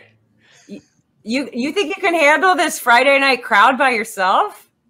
Uh, shit. Uh, uh, yeah, I think I, I think I got it, sweetheart. Don't worry about it. All right, Jerry. Well, I don't just leave this place to go nowhere. Where are we going? Um, and he suggests like a wine bar that's like kind of over in the hipster section of town, like Squirrel Hill. Whoa, whoa, whoa! Am I gonna have to get a new shirt or something? We're crossing the river. I think you need a new shirt. Well, then that's gonna be another another another stop because this is the nicest shirt I own. You think I go? You think I go to work at Marty's and don't dress up? Uh, we, I mean, we could stop at your apartment. I'm I'm fine with that. All right. Oh, he's getting he's getting really bold now. Unfortunately, I have to end your romantic encounter because that's when your two cabal mates come walking into the bar. I thought that the meeting was planned, but apparently it wasn't. They need to talk to you. Oh Um, shoot! and when you see them walking in, you're like, "Oh fuck, I had plans." You know? Um, yeah. Oh, what gives, guys? So, Jared, is do you have in mind what gives? Um, yeah, I think I have in mind what gives, but I'm really enjoying how these players kind of uh, create their own problems. Um, so um, I think since you uh, piped up first, Sara Rose Caplan, you need to tell me uh, a, a, very big problem, and it has to do with magic. It doesn't have to do with regular people stuff that you are coming to talk to your cabal mates about. You've already you've already grabbed Avi, and now you have to talk to Charlotte. And I can give that problem to you or this opportunity to you, or you can come up with it on your own. I'm fine either way. Uh, I mean, I'll make one up. I'm happy to do that. Go for it. Remember, it's got to be a magical problem. And I'm so happy I'm giving this responsibility to the player who read some of the book. Okay. um, Sara Rose Caplan, you're, you're, you're setting up our, our cliffhanger here. Uh, have, have our friend uh, Maria tell uh, Charlie why she's not going on her date. Okay. Listen, Maria, I don't want to like freak you out or anything, we got a big problem here. Oh so, wow! Way to be dramatic, Maria. I'm I'm just on my way out with uh, this guy Jerry. See, Jerry, my friend. Hi, Jerry. Hi. Yeah, yeah. No, no, thank you. Uh, listen, and I'm just gonna pull pull pull Charlie over to the side. One one one second. He's hot, right? I honestly I couldn't tell you. Okay. Listen, th- this is serious, Charlie. Last night, we were bashing the fash, doing what we do. This proud boy rolls up, right? And he gets hit in the head. I go to check on him. No blood. I think we're get, I think we're dealing with robots. oh no! Wait. What was was wait? Did was he okay? Is he okay? I mean, I know I don't I don't really. I, I'm way more. Is he okay? He's not real. He's not alive.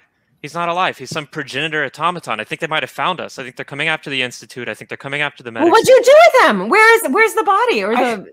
I, what did I do with? It? I threw him in the river. Oh my gosh. The Monongahela. I chucked him in. Oh my gosh. I freaked out. I'm sorry. Listen, no, no, no. It's fine. Freak out. I normally don't freak out. Let's see this. Uh, let no, I, I, I, I couldn't be happier than uh, uh, Android Proud Boys, and uh, now I will uh, finish uh, today's mini session by uh, cutting to the Monongahela, and we just see like out of the water, like hours later, almost twenty four hours later, like this guy get up out of the water uh, and now you see that he uh, like searches in the water a little bit till he finds his red cap and puts it on. Oh and he gosh. just starts to like wade out of the Monongahela, and one of his eyes blinks red, blinks red, blinks red. The technocracy has infiltrated the Proud Boys. Oh my God, what an adventure this will be! oh, um, so that was good. a Great hook. Um, so, so that is good. our cliffhanger, and that is our session. Uh, we have created characters, we've set up the stakes, and we've learned how to do magic. Next time, this cabal of mages will have to defeat robot Proud Boys in Pittsburgh. yes, I love it. Oh my gosh, Sara, brilliant. That was really brilliant, Sara. Uh, thank you to Sara Rose Caplan, to Aaron Urist, and Amy Vorpahl for being here, for bringing their creativity. Find them on their socials. Tell them how much you uh, loved uh, their their performance in this game, and find the other stuff they do, and, and patronize that. Um, I will say goodbye for now, but thank you guys. Thanks for being here. Thank you. Thank you. That was awesome. So yeah, you guys were great. Okay, um, that's it. That's it for our little mini session of uh, Magi of Pittsburgh. When we come back, we'll play. Uh, be sure to uh, you know uh, get on the Discord. Let us know what you think, and uh, watch all of our shows. Vampires of Pittsburgh will be back soon. we have um, some new Blades games coming up in the nearest future. Uh, and we just really appreciate you viewers. Uh, so thank you to viewers. Thank you to Clinton Trucks and Brian Baldinger, my producers and partners. Thank you to Megan Arch, our social media manager, Matt Moynihan, our YouTube content producer, and Jill Petracek, who does our art direction. Um, you guys are all great. Thank you. And uh, uh that's it. I need a, I need a catchphrase for the Magi. I, I need some kind of mage catchphrase. Uh, reality is a lie. Reality is a lie. Okay, shut off the feed.